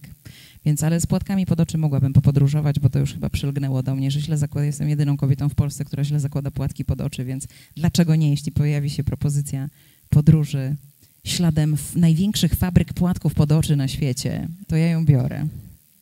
To ja biorę.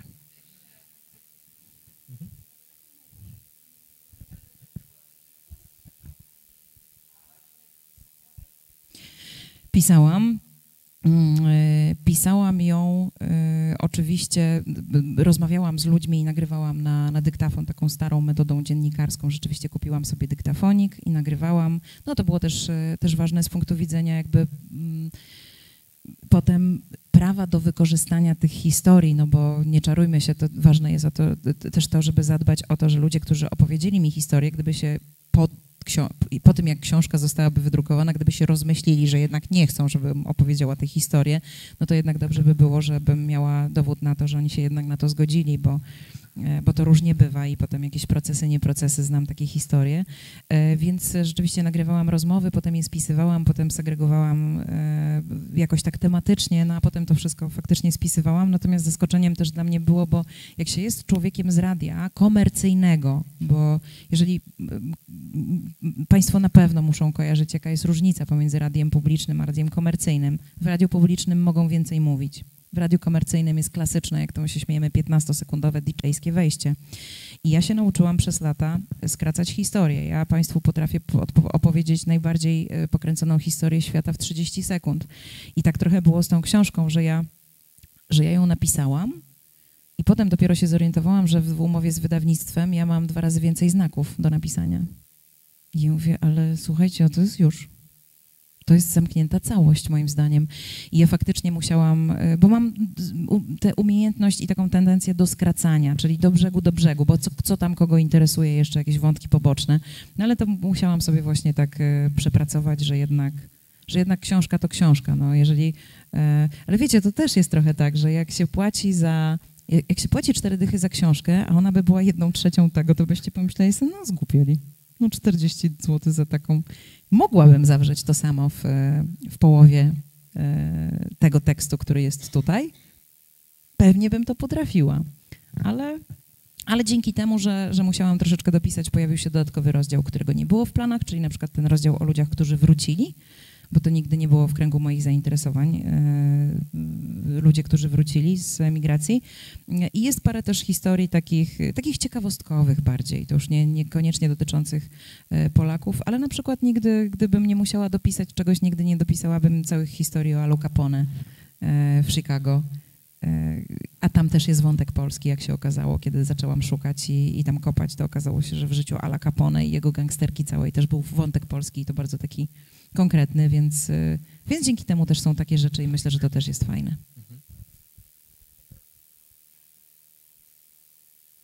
No dobra. Jeśli nie ma pytań, no to oczywiście bardzo serdecznie dziękujemy. Ja bardzo dziękuję. Zapraszamy częściej do biblioteki.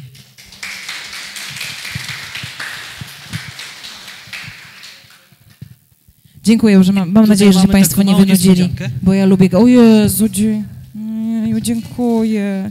Boże.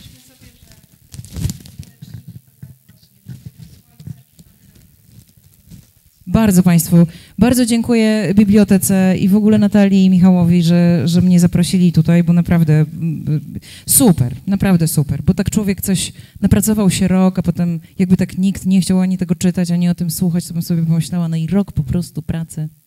I, a tak czuję, że, że może zrobiłam coś, że, że, że to fajnie jakiś tam mam wkład w taką polską bibliotekę na przykład, nie wiem, bo liczę na to, że moja książka będzie w waszej bibliotece do wypożyczenia.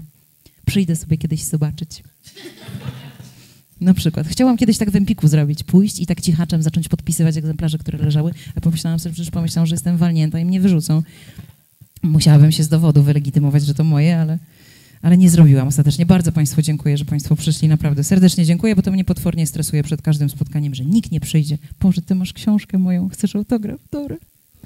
No właśnie, jeżeli ktoś ma książkę, to oczywiście zapraszamy. Agnieszka powiedziała, że chętnie podpisze.